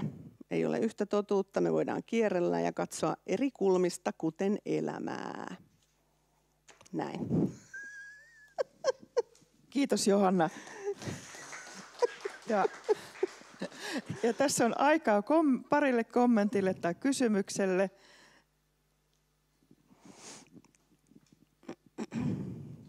Kiitos, erittäin mielenkiintoista ajatuksia herättävää ähm, vaikuttamista, ainakin minun vaikuttamista. Ähm, mä haluaisin tuoda tähän ihan ruohonjuuritason äh, mm. kokemuksen tältä kesältä, äh, kun eräs ihminen tuli äh, mun näyttelyyn ja hän kävi neljä kertaa yhden taulun edessä, yhden maalauksen edessä. Ja sitten tota, hän soitti mulle ja sanoi, että minä en tiedä, mikä tässä vetoaa, mutta et, et, et on, hän ei voi olla tulematta. Hmm. Eli, eli sanat ja, ja kuvat, mutta siinä välissä on se tunne. Kyllä. Eli, eli se, että, että siinä oli, hän oli tavoittanut jonkun semmoisen oman tunteen, jolle hänellä ei ollut sanoja. Hmm. Ja mä mietin myöskin, mikä mun eettinen niin kuin, äh, ajatus siinä on, että pitääkö mun sanottaa hänelle tunnetta, jonka hän tavoittaa, jolle ei ole sanoja. Se on ilmeisesti hyvin varhainen. Hmm. Ja sitten kerroin hänelle jotakin siitä, että, että on kun, sitten kun on aika luopua jostakin, sen työn nimi on Gone with the Wind – Mm. Ja niin sen voi antaa mennä, koska sitten vasta sieltä alhaalta voi tulla jotain uutta tilalle. Mm. Ja hän lähti sen maalauksen kanssa kotiin. Mm. Et, mm. E, miten kirjoittaa, mä itse myös kirjoitan, niin miten kirjoittaa mm. sellaista, millä ei ole sanoja, miten mm. maalata sellaista e, tunnetta, jolle ei ole sanoja. Mm. Tällaisia ajatuksia, niin, hyvin, hyvin vaikuttavaa. Joo, mä mietin, että ehkä, ehkä just sillä tavalla, että sanoo niin kuin ton. Siis mä ajattelen, että, että jos, jos niin kuin mun, mun mielessä, että jos mä nyt esimerkiksi kirjoittaisin tuosta näyttelystä ja, ja menisin sinne ja, ja joko mulle tulisi tuommoista kokemusta tai mä kuulisin siellä tai näkisin ihmisten eleistä ja ilmeistä jotain, niin mä ajattelin, että, että jos sitä sanottaa niin kuin suoraan, että, mä että, että välillä kun miettii, että mitä, mitä pitäisi sanoa tai kirjoittaa, niin joskushan se on just se tavallaan se meta, metapuhe, mitä ehkä, koska silloinhan sä, jos sä kirjoitat sen, että tässä on nyt jotain, mitä ei voi, en tiedä miten sitä tekstillä tavoittaa, niin mä ajattelin, että sittenhän se kutsuu tavallaan semmoiseen ihanaan, mä ajattelin, tota, näyttelykokeilukulttuuriin, että katson, että mikä reaktio mulle tulee.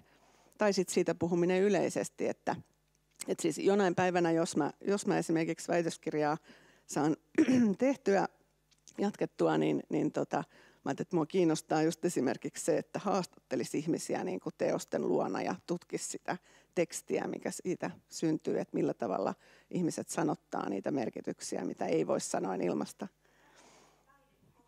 Mm.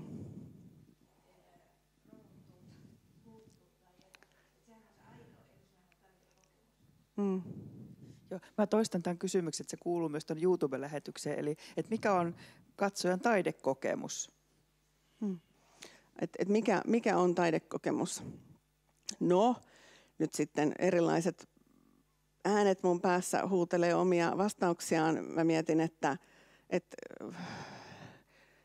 no ky- kyllä mä niin kuin uskon siihen, että, ja no varmaan tiedänkin, että ihmisenhällä, ihmisellähän on niin kuin kuvallisuutta mielessä, siis vaikka ei edes näkisi fyysisesti, niin on jotain tiloja ja ulottuvuuksia ja, ja on joku semmoinen, että hahmottaa maailmaa, että esimerkiksi tuommoinen virolainen Toni Viik, tota, siitä paljon on kirjoittanut ja esitelmöinyt, että miten niin kuin, kuvan katsominen, taiteen katsominen on aina tilallista. Mä että meillä on semmoinen kuvallinen tila, se on eri asia, että kuinka tuttuja me ollaan sen kanssa, mutta silloin kun me nähdään teos, joka osuu siihen meidän omaan kuvalliseen tilaan, missä voi olla niin kuin, nimenomaan mitä tunnepitoisempi kokemus on, niin sitä enemmän kuvallisenakin se jää jonnekin tuonne muistiin. Niin mitä, mitä, jos teos osuu siihen, niin sitten meillä tulee usein semmoinen ja, ja mä ajattelin, että meillä on myös semmoista niin kuin yhteistä, ihmiskunnalla on yhteistä ja sekin tekee sen, että sit jotkut teokset niin kuin tietyssä aikakaudessa, niin kuin esimerkiksi mä uskon siihen, että taideteokset nykypäivän näyttelyssä tarjoaa usein esimerkiksi vastapainoa niille asioille kulttuurissa, mitkä ylikorostuu, niin, niin mä ajattelin, että siinä on niin kuin paljon semmoista yhteistä, mutta sitten on se yksilöllinen. Vastasko tämä nyt kysymykseen? Mm. No niin, kiitoksia Johanna ja kiitos äh, keskustelijalle. Ja meillä on seuraavana täällä sitten vuorossa äh, musiikin näkökulma, musiikin tekijän näkökulma.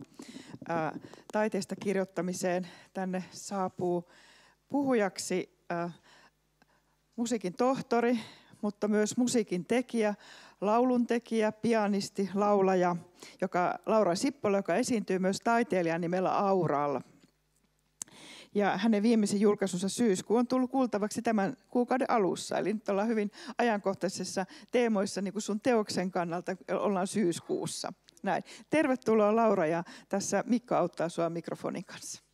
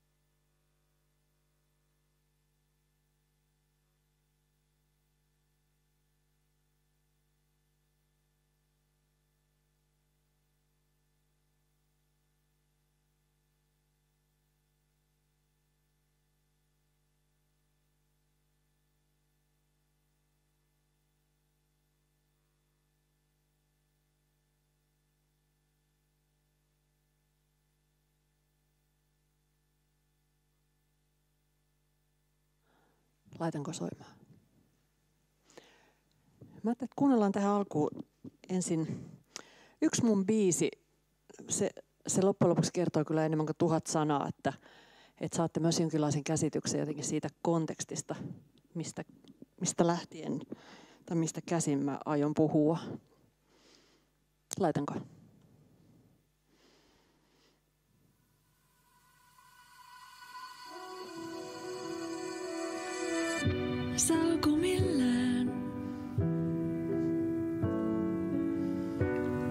Perustukset kaatumaan?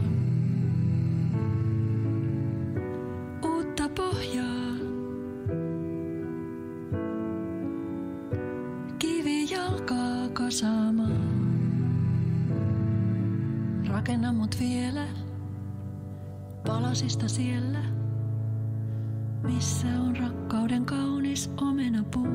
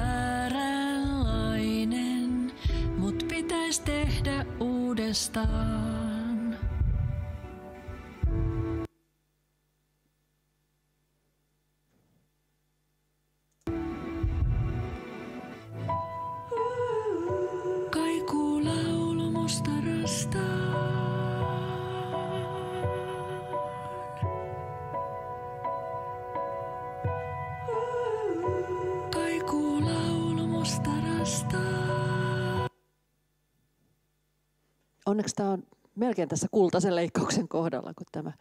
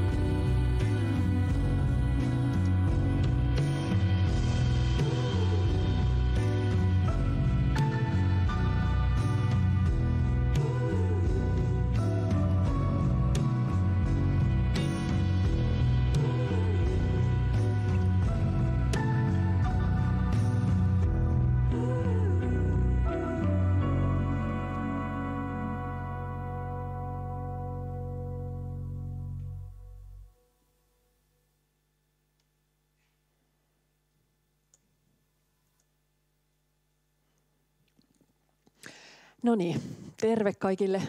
Ja tota, tota, tota.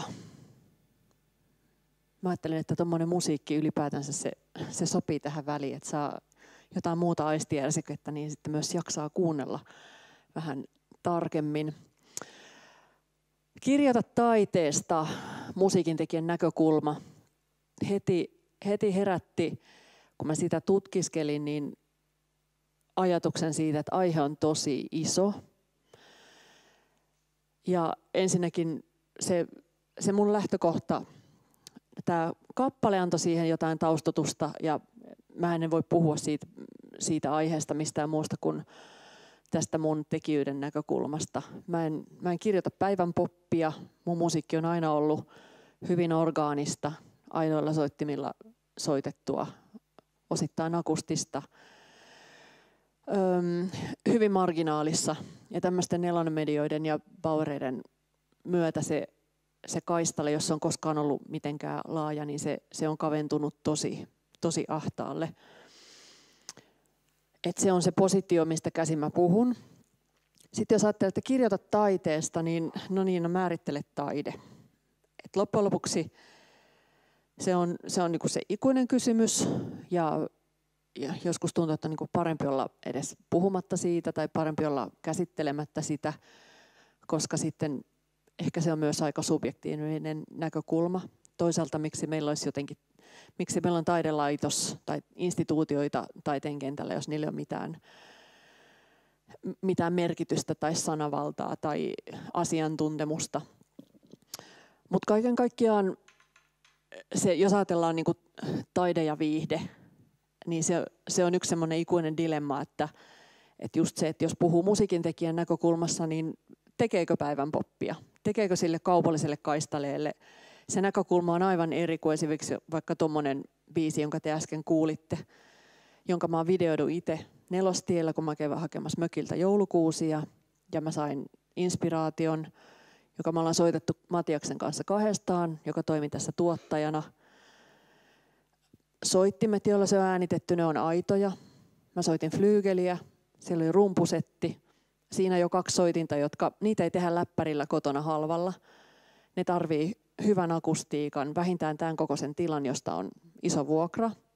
Se tarvii tosi laadukkaat mikrofonit, jotka joku yksi mikrofoni voi maksaa 10 000 euroa. Ja siitä huolimatta, että tuommoisia videoita vaikka tekee sitten itse, niin ne tuotantokustannukset per biisi on siinä niin kuin 1500 euroa. Ja musiikin tekijöiden tapahtumissa me puhutaan kollegoiden kanssa aika paljon siitä, että jos vaikka mä oon koulutukseltani musiikin tohtori, mä oon ollut ainakin sen 20 vuotta alalla ja oli mun taidosta mitä mieltä tahansa, mutta mä oon totta kai kerryttänyt jotain ammattitaitoa, että ainakin mä voin sanoa tämän sävellajin ja tahtilajin ja onko siellä modulaatioita, mi, niin kuin, tavallaan mä voin sanoa sen datan, mä tiedän sen niin kuin tismalleen ja niin kuin semmoista asiantuntemusta multa, multa löytyy tai perustella jonkun lauseen, miksi se on siellä kolmannella rivillä tai näin. Mutta kaiken kaikkiaan, kun tehdään ammattitasoista tai am- ammattilaislähtökohdista vaikka tuommoinen biisi, teos, äänitetään se, niin silloin se on ammattilaistason toimintaa. Ja silloin siitä huolimatta, että se lopputulos on tommonen, tai se voi olla vaikka joku Anna-Mari Kähärän sävellys vaikka Onervan runoon. Ja sitten jos ajatellaan, että mitkä on ne radiokanavat, joka sellaista soittaa. No meillä on Yle, mutta Ylehän on alkanut kilpailla Radio Suomi Popin kanssa ja kaikkien Novan ja Iskelmäradioiden kanssa samasta kuulijakunnasta. Et loppujen lopuksi se se paikka, missä tota musiikkia voidaan soittaa, niin se on ihan hävyttömän pieni. Joka tarkoittaa sitä, että siinä puolissa ei pyöri raha.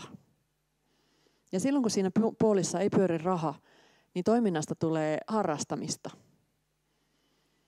Eli meillä on Suomessa aika monta ammattilaismuusikkoa, jotka harrastaa omaa ammattiaan.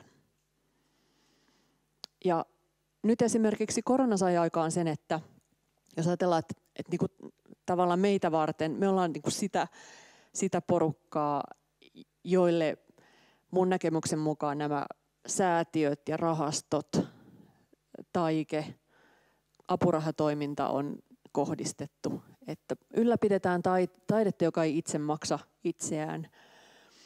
Koronan myötä tuli sitten se, että, että aika moni, esimerkiksi Taikakin järjesti paljon korona-apurahahakuja, jossa myönnettiin apurahoja vaikka DJille tai tuommoisille tahoille, jotka niin kuin normaalisti ei kuulu sen apurahan piiriin.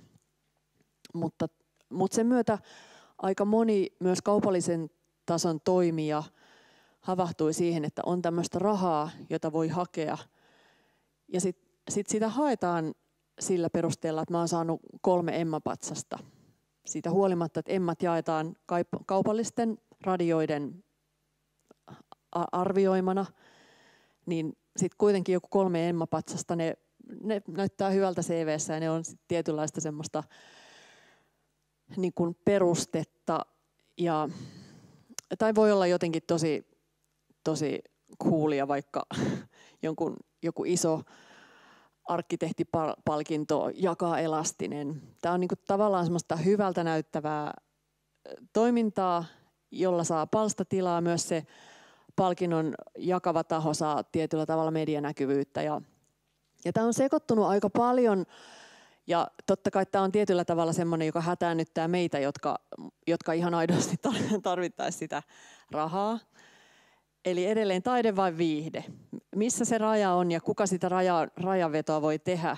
Ja onko sillä mitään merkitystä, koska nykyään jollain parikymppisellä tuottajalla ei ole mitään ongelmia kutsua itseään taiteilijaksi versus itse reilu parikymppisenä Sibeliusakatemialaisena. Mä muistan ne pöytäkeskustelut, kun me mietittiin, että missä vaiheessa voisi alkaa käyttää titteliä laulaja, lauluntekijä tai musiikin tekijä tai taiteilija. Se, se oli ehkä se kaikkein isoin titteli, että milloin voi itseään kutsua taiteilijaksi. Mutta tämä on, on hämärtynyt ja se, se ehkä liittyy myös aikaan. Ja toinen semmoinen dilemma, joka tuosta otsikosta mulle tulee, on se kirjoita. Kirjoita taiteesta, kuka kirjoittaa, missä kirjoittaa. Tämä on oikeastaan aika sukupuolittunut kysymys. Jos ajattelee musiikkimedioita, niin no ei ole semmoisia semmoisia muita kuin miesvaltaisia musiikkimedioita. Jos ottaa yhteyttä rumbaan, soundiin, miiriffiin, siellä on, siellä on iso mieskatalogi toimittajia, tietysti päätoimittaja, voi olla muutamia naistoimittajia, mutta se on, se on aina alisteinen se asema. Ja tähän on iso keskustelu, tähän liittyy Too ja ihan kaikki. Että, että esimerkiksi henkilökohtaisesti mä en ole koskaan ollut jonkun naisen kanssa pöydän toisella puolella keskustelemassa vaikka siitä, että miten mun musiikki voisi saada näkyvyyttä tai lähtisitkö tuottaa. Että ne keskustelutahot, ne on ollut aina miehiä ja ne porttivartijat on syystä tai toisesta miehiä edelleen, eikä siellä ole riittävästi semmoista matsotyyppiä, joka oikeasti nousisi ja sanoisi, että hei, että tässä rakenteessa on, on jotakin, että, että tälle pitäisi jotain tehdä. Että toistaiseksi se, se on säilynyt se keskustelu tosi kädenlämpöisenä ja Gramex-teosto, musiikin tekijät, kustantajat, iso joukko tämmöisiä musiikin alan järjestöjä on tehnyt parametrioita, kyselyitä, joissa on ollut hälyttävät nämä tota, tulokset, mutta siitä huolimatta tavallaan sitä niin kuin isoa, isoa pataa ei ole vielä avattu. Et ehkä joku päivä se, sekin avataan. Mutta just se, että kuka kirjoittaa. Mä oon teostossa kulttuurikummina ja me säännöllisesti aina ollaan tapahtumissa, jossa me tavataan poliitikkoja ja kaikkia vaikuttavia tahoja ja pyritään luomaan sitä dialogia nimenomaan meidän tekijöiden ja päättävien tahojen kanssa. Viimeksi keväällä me oltiin Ylessä. Siellä oli, siellä oli tota, herrat isot kihot paikalla ja, ja tota, sitten he esimerkiksi esittelivät strategiaa ja yksi strategia oli tota, tavoittaa naisia erityisesti minua hieman nuorempia naisia. Ja se oli ihan kiinnostava kuulla, että mielenkiintoista, että nyt siellä sitten sedät mietti, että miten taas naisia. Että ehkä siihen, siihen pitäisi ottaa naisia mukaan myös pohtimaan sitä ja ehkä naisia päättämään, että voisiko naisia soittaa enemmän. Mutta mä oon henkilökohtaisesti itse aina siinä tilanteessa, että kun mä julkaisen vaikka tuommoisen biisin, niin sitten sieltä tulee niiltä miehiltä niitä vastauksia, että otammeko soittoa vai emme ota. Ja vaikka tämmöinen kappale, niin voitte nyt kuvitella, että tämän se taiteellisuus, jos sitä niin kiltisti kutsuu sillä nimellä, niin se on sitä luokkaa, että se ei sovi siihen päivän poppi muotoon, joten se ei saa sitä soittoa, jolloin se tarkoittaa, että on kuulijoita YouTubessa ja Spotifyssa ja siinä se. Ja Spotifyssa ne musiikit yleensä niin kuin parissa kuukaudessa vanhenee. Että se niin kuin, tämä näkymä, mikä mulla on, niin se ei ole, se ei ole millään tavalla niin optimistinen tai täytyy ha, niin kuin hakea itsestään julmetusti semmoista tiettyä reippautta, että jaksaa tehdä. Ja on tietysti aikoja, jolla ei jaksa tehdäkään, mutta tota, mutta jotenkin, että kirjoita taiteesta, niin siinä on hirveän isoja valintoja. Että just nimenomaan se, että kuka kirjoittaa ja mikä se taho on. Että, että loppujen lopuksi oli media mikä tahansa, vaikka se olisi Helsingin Sanomat, niin sekin kuitenkin joutuu kilpailemaan niistä lukijoista. Et sitten jos analysoidaan vaikka Antti Tuiskun uusi levy, joka on munkin mielestä tosi hieno, mutta että, että jos siitä tehdään niin kuin puolen sivun tai sivun juttu, niin se on valinta. Ja totta kai se tukee ihan yhtä lailla kaupalliset tahot tarvii, tarvii tätä. Mutta joka tapauksessa se ehkä kiinnostaa, se saa enemmän klikkejä, se kiinnostaa lukijoita enemmän kuin ottaa joku ehkä musiikkipiirissä tunnettu, mutta niin kuin suurelle yleisölle tuntematon ja sitten analysoida sen levy. Ja sitten totta kai tämmöisen taiteilijan näkökulmasta mun mielestä niitä valintoja pitäisi tehdä just sillä tavalla, mutta että nämä, jotka taiteesta kirjoittaa, niin ne on totta kai ihan yhtä lailla osallisia sitä niin kuin tämän nykyisen yhteiskunnan vallitsevaa kulttuuritilaa, jossa, jossa on se tiivis markkinavoimien kärki ja sitten meidän pieni kansa, jotka kaikki yritetään niin kuin saada sinne.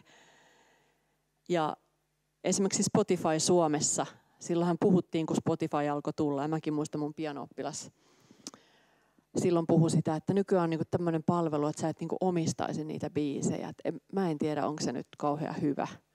Ja mä muistan sen keskustelun, kun nykyään se on aivan täysin absurdi, että miksi sun pitäisi omistaa kolme miljardia biisiä. Mutta tota, silloin kun Spotify tuli, niin sehän tavallaan tarjosi semmoisen aika hyvän viuhkan sille, että, että kaikki on tarjolla, että löytyy mitä vaan.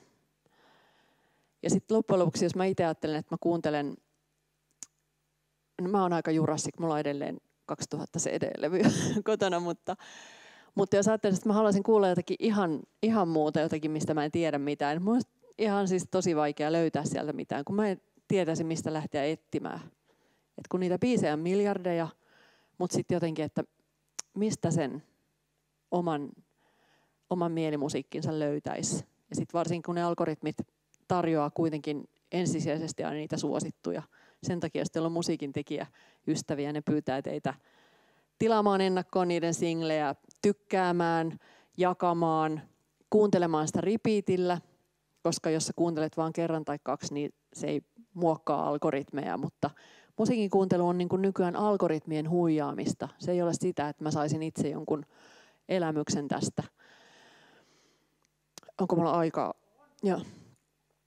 Ja tota, mihinkä mä jäin?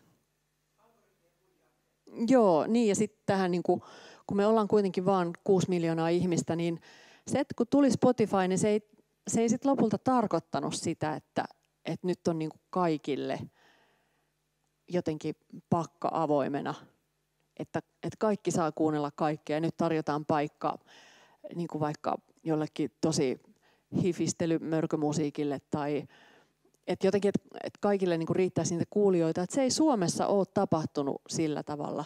Että se on enemmänkin tapahtunut zzz, sille, että kaikki kuunnelkaa, iskelmä kuuluu kaikille, uuden suomalaisen musiikin lista, ää, mikä se oli, New Friday, no kuitenkin tämmöiset niin pääsoittolistat, että, että kuunnelkaa sitä ja niitä kuratoidaan, niin siellä on aina se joku vain elämää yksi tai kaksi vähintään ja tavallaan tietyt, jotka, jotka pääsee sinne automaattisesti ja sitten aika iso osa musiikkijulkaisuja ei ole sinne niin kuin mitään asiaa. Mutta se on, se on niin kuin vaan yhdenmukaistanut sitä, että et kirjoita taiteesta, niin on kyllä semmoinen semmoinen otsikko, että, että mä en oikein tiedä, että niin kuin, kuka voisi kirjoittaa niin kuin mistä taiteesta ja kuka määrittelee sen taiteen. Et nämä, on, on haastavia aikoja. Itse tämmöisenä niin kuin aika perusrunotyttö lähtökohdasta ponnistaneena, niin, niin jotenkin musta tuntuu, että runotyttöjen täytyy olla tällä, tänä päivänä vaikka jollakin kiinnostavalla tavalla friikkejä tai olla jotenkin niin kuin, hakea se yleisönsä niin kuin jostakin tosi, tosi kummaa reittiä tai, tai olla jollakin tavalla erilainen, koska jotenkin semmoisesta perusrunotyttöpohjasta niin ei, niin kuin, ei ole medioita tai ei ole niitä päättäviä tahoja, jotka voisivat susta kiinnostua. Että jos mä olisin miljonääri, niin mä perustaisin radiokanavan, jonka tarkoitus on tuottaa mitään voittoa. Mä perustaisin jonkun klubin, joka... Ai niin, tästä mun piti kanssa sanoa, että mä, siis mä opetan laulunkirjoitusta taideyliopistossa ja kriittisessä korkeakoulussa ja mun kurssien myötä tietysti näkee kymmenittäin biisintekijöitä joka vuosi. Ja usein, useimmat laulunkirjoituskurssit Suomessa on tämmöisiä how to make a hit song tai hittitehdas tai tehdään niin kuin biisejä vientituotteeksi tai isoille artisteille. Mä oon aina miettinyt sitä, kun mä oon lähtenyt biisin kirjoittajaksi siksi, että mulla on tarve ilmaista itseäni musiikin kautta. Ja mä rakastan laulua taidemuotona ja se on mulle läheinen. Ja varmaan mulla on siihen jotain lahjojakin. Ja mun mielestä laulu syntyy siitä, että sulla on sanat ja sävel. Ja sitten loppujen lopuksi eihän sillä ole mitään väliä, vaikka, vaikka sen toteuttaa argentiinalaisen tangon muotona tai tekee jonkun punk-biisin tai, tai laulelman. Tai, että se ei ole niin musiikki, se, siis laulu ei tarkoita sitä, että sun pitäisi kirjoittaa päivän poppia. Ja mun kurssille ei ole mitään musiikkigenre-rajoitteita. Ja se on mielenkiintoista, että mä annan vaikka jonkun tehtävän kirjoittaa biisin seuraavaksi kerraksi ja sitten me kuunnellaan, kun se soittaa sen, se on ehkä valmistunut edellisenä iltana, sen kädet tärisee, hikoilee, sen ääni värisee ja sitä jännittää ihan pirusti. Ja se laulaa sen ja se on itse tehnyt sen ja sitten meillä kyyneleet valuu, me kuunnellaan, se on niin koskettava ja se liikuttaa meitä kaikkia. Ja mä mietin, että ollaanko me niinku todella maailman ainoat, joita tämä liikuttaa. Että et eikö olisi muitakin, joita tämä voisi liikuttaa. Ja sen jälkeen mulla on jatkoajatus, että missä, missä tätä voisi kuulla. Ei, ei ole semmoisia paikkoja, jossa voisi jotenkin näin analogisesti esittää jotakin. Et jos mä olisin miljonääri, niin mä perustaisin sen paikan. Ja sekään ei olisi voittoa tuottava, koska meillä on niin pieni kansa, että harva maksaa mitään 30 lippuja semmoiseen, että se esiintyjä edes jonkinlaisen palkan siitä sen työstä. Ja Joo, ja nyt mulla katkesi ajatus. Mä mietin, että pitäisikö tähän ottaa jotain tarkentavia kysymyksiä. Niin tosiaan, jos tässä yleisössä teillä on, nyt haluatte esittää kysymyksiä tai kommentteja, äh, mutta mä tartun nyt tähän siihen, että Johanna toi äsken esille sen, että, että olisi hyvä, että olisi tämmöinen aatteellinen taiteesta kirjoittamisen liike – ja nyt sä toit esille tänne, että tarvitaan, että olisit miljonäärin, sä perustaisit radiokanavan, joka soittaisi kaikenlaista musiikkia. Ajattele, aatteellista, aatteellista niin, musiikkia. Niin. Ja tämä on nyt musta hirmu kiinnostavaa, niin kuin, että ne, teiltä molemmilta kahdelta puhujalta tulee tämä sama. Ja mä kyllä kuulin myös Villenkin esityksessä tällaista kaupallisuuden kritiikkiä. Mm näin. Niin tota, niin Tämä alkoi minulla hyrrätä kovasti päässä. Et ehkä tässä meidän paneelikeskustelussa voidaan jatkaa tätä ideointia sitten. Niin, tästä tulee aate. Niin, aate, aate. nyt. Joo, kyllä. Et siinä mielessä mä olen jo nyt siinä mielessä iloinen, että mehän niin aloitettiin tämän tapahtuman suunnittelu tosiaan keväällä 2021 ja tässä on ollut meillä niin kuin, on ollut musiikista, sitten kirjallisuudesta, teatterista, tanssista, kuvataiteesta ja vielä käsityötaiteestakin me oltiin niin kuin kaikki yhdessä suunniteltiin tätä ja mietittiin. Niin musta nyt vielä tässä sit se, mitä sä toit sit esille tästä, mikä oli, minkä mä niin kuin nyt tajusin, kun sanoit sen niin suoraan, niin oli tämä sukupuolittuneisuus. Mm. Tämä musiikin, siis musiikkimaailman sukupuolittuneisuus. Koska viime keväänä mä järjestin täällä räppilyriikasta luentoja, ja niissä kävi kyllä todella hyvin esille se täsmälleen sama asia. No joo, no se, se nyt lajina varsinkin. Niin. Joo. Joo. Eli siis se kysymys, että kuka saa kirjoittaa, niin se oli tosi mielenkiintoinen nyt tässä, tässä kontekstissa, kun me kuitenkin nyt kohdataan täällä kirjoittajia ja oletan, että täällä yleisössä on myös kirjoittavia ihmisiä ja ainakin Mm. meidän työpajoihin on tulossa kirjoittavia tai kirjoittamista haluavia ihmisiä. Joo. Et mulla ei ole kysymyksiä, mä vähän tässä niin omia ajatuksia nyt vielä peilaan sinun Joo, puheeseen. joo, mutta oli tosi kiva kuulla toi kommentti. Siis kaiken kaikkiaan jotenkin se, että, että oli ne lähtökohdat mitä tahansa, niin jollakin tavalla niin kuin jokainen taiteilija, vaikka lähtisi, olisi, olisi taiteilija, syntyisi taiteilijaksi taiteellisista lähtökohdista, niin sitten kuitenkin joutuu taistelemaan sen niin kuin kaupallisen poolin kanssa ihan yhtä lailla. Ja se, Mä en tiedä, kuuluuko se siihen analogiaan, että onko se joku semmoinen karaistaja vai pitää, pitääkö näin olla vai voisiko sitä oikeasti jotenkin laittaa niin kuin kaksi kaistaa, että olisi se taide ja viihde sitten puhtaasti tällä tavalla. En minä tiedä. No toisaalta tästä keskustellaan nyt myös sitten kirjallisuuden alueella siinä, siinä että tällaisista äh, some-influenssereista nyt kaupallinen kustantamo alkaa kouluttaa Just kirjailijoita. näin, joo. Kyllä. Ja taide, siis kuvataidepiirit on puhunut paljon tätä, että on näitä perheenäiti kyllästyi työelämään. Burnoutin jälkeen hän alkoi maalata ja nykyään myy kymmenillä tuhansilla kuukausittain töitään netissä. Niin. Ja sitten taiteilija, joka on hakenut sitä syvyysperspektiiviä ehkä just sen 15 vuotta ja, ja tekee jotain tosi epäseksikästä kuvaa, joka, josta ei kirjoiteta tällaisia juttuja, että, että perheenäiti raaputtaa grafiikkaa kotona. Mm. Niin, niin. Niin, no me ollaan siis, mä mietin just tuot esille tämän asian, niin mä ajattelin, että me eletään semmoista niin kuin sankaritarinoiden, sankaritarinoiden toisaalta myös uhrikertomusten aikaa jollakin Hyvin, tavalla. hyvin sanottu, joo. Joo. Itse asiassa luin Antti Holman tota, kolumnin taideyliopiston, se oli varmaan joku sisäinen julkaisu ja siitäkin oli heti liuta mielensä pahoittajia, jotka sanoivat, että he eivät ole samaa mieltä, mutta hän kirjoitti herkkyydestä ja tavallaan kyseenalaisti sen, että jotenkin se vikalause oli siinä, että herkkä on se, joka ei ikinä edes uskaltanut näyttämölle. Mä en ole kaikesta samaa mieltä, mutta, mutta hän toi myös esille just sen, että tavallaan nykyään kuuluu mennä lavalle ja itkeä ja kertoa se joku oma uhritarinansa ja sitten saada yleisön sympatia siihen sit puolelleen. No kiitos. Tuota, nyt me oikeastaan voidaan jatkaa näistä sitten tuossa meidän paneelikeskustelussa sitten Oh yeah, seuraavaksi, kyllä. koska nyt teitä on siinä paneelikeskustelussa keskustelemassa siis Laura Sippola, sitten Ville Hämäläinen, ähm, hetkinen, Johanna Waalbeck, sitten tuolla takapenkissä istuu teatteri- ja tanssikriitikko Maria Säkö ja sitten äh, musiikkikriitikko, tietokirjailija Samuli Tiikkaja on myös tässä paneelikeskustelussa mukana. Ja paneelikeskustelua vetää sitten kirjailija, toimittaja, kriitikko äh, Esa Mäkijärvi. Ja ennen sitä me pidetään tässä tuommoinen kello 12.30 asti pidetään tauko, eli tuossa vastapäätä on kahvila, jossa voi käydä nauttimassa lounasta ja sitten jatketaan tässä tosiaan kello 12.30. Nyt vielä Lauralle aplodit sun Noi. ajatuksia herättävistä aja- Kiitoksia. puheesta.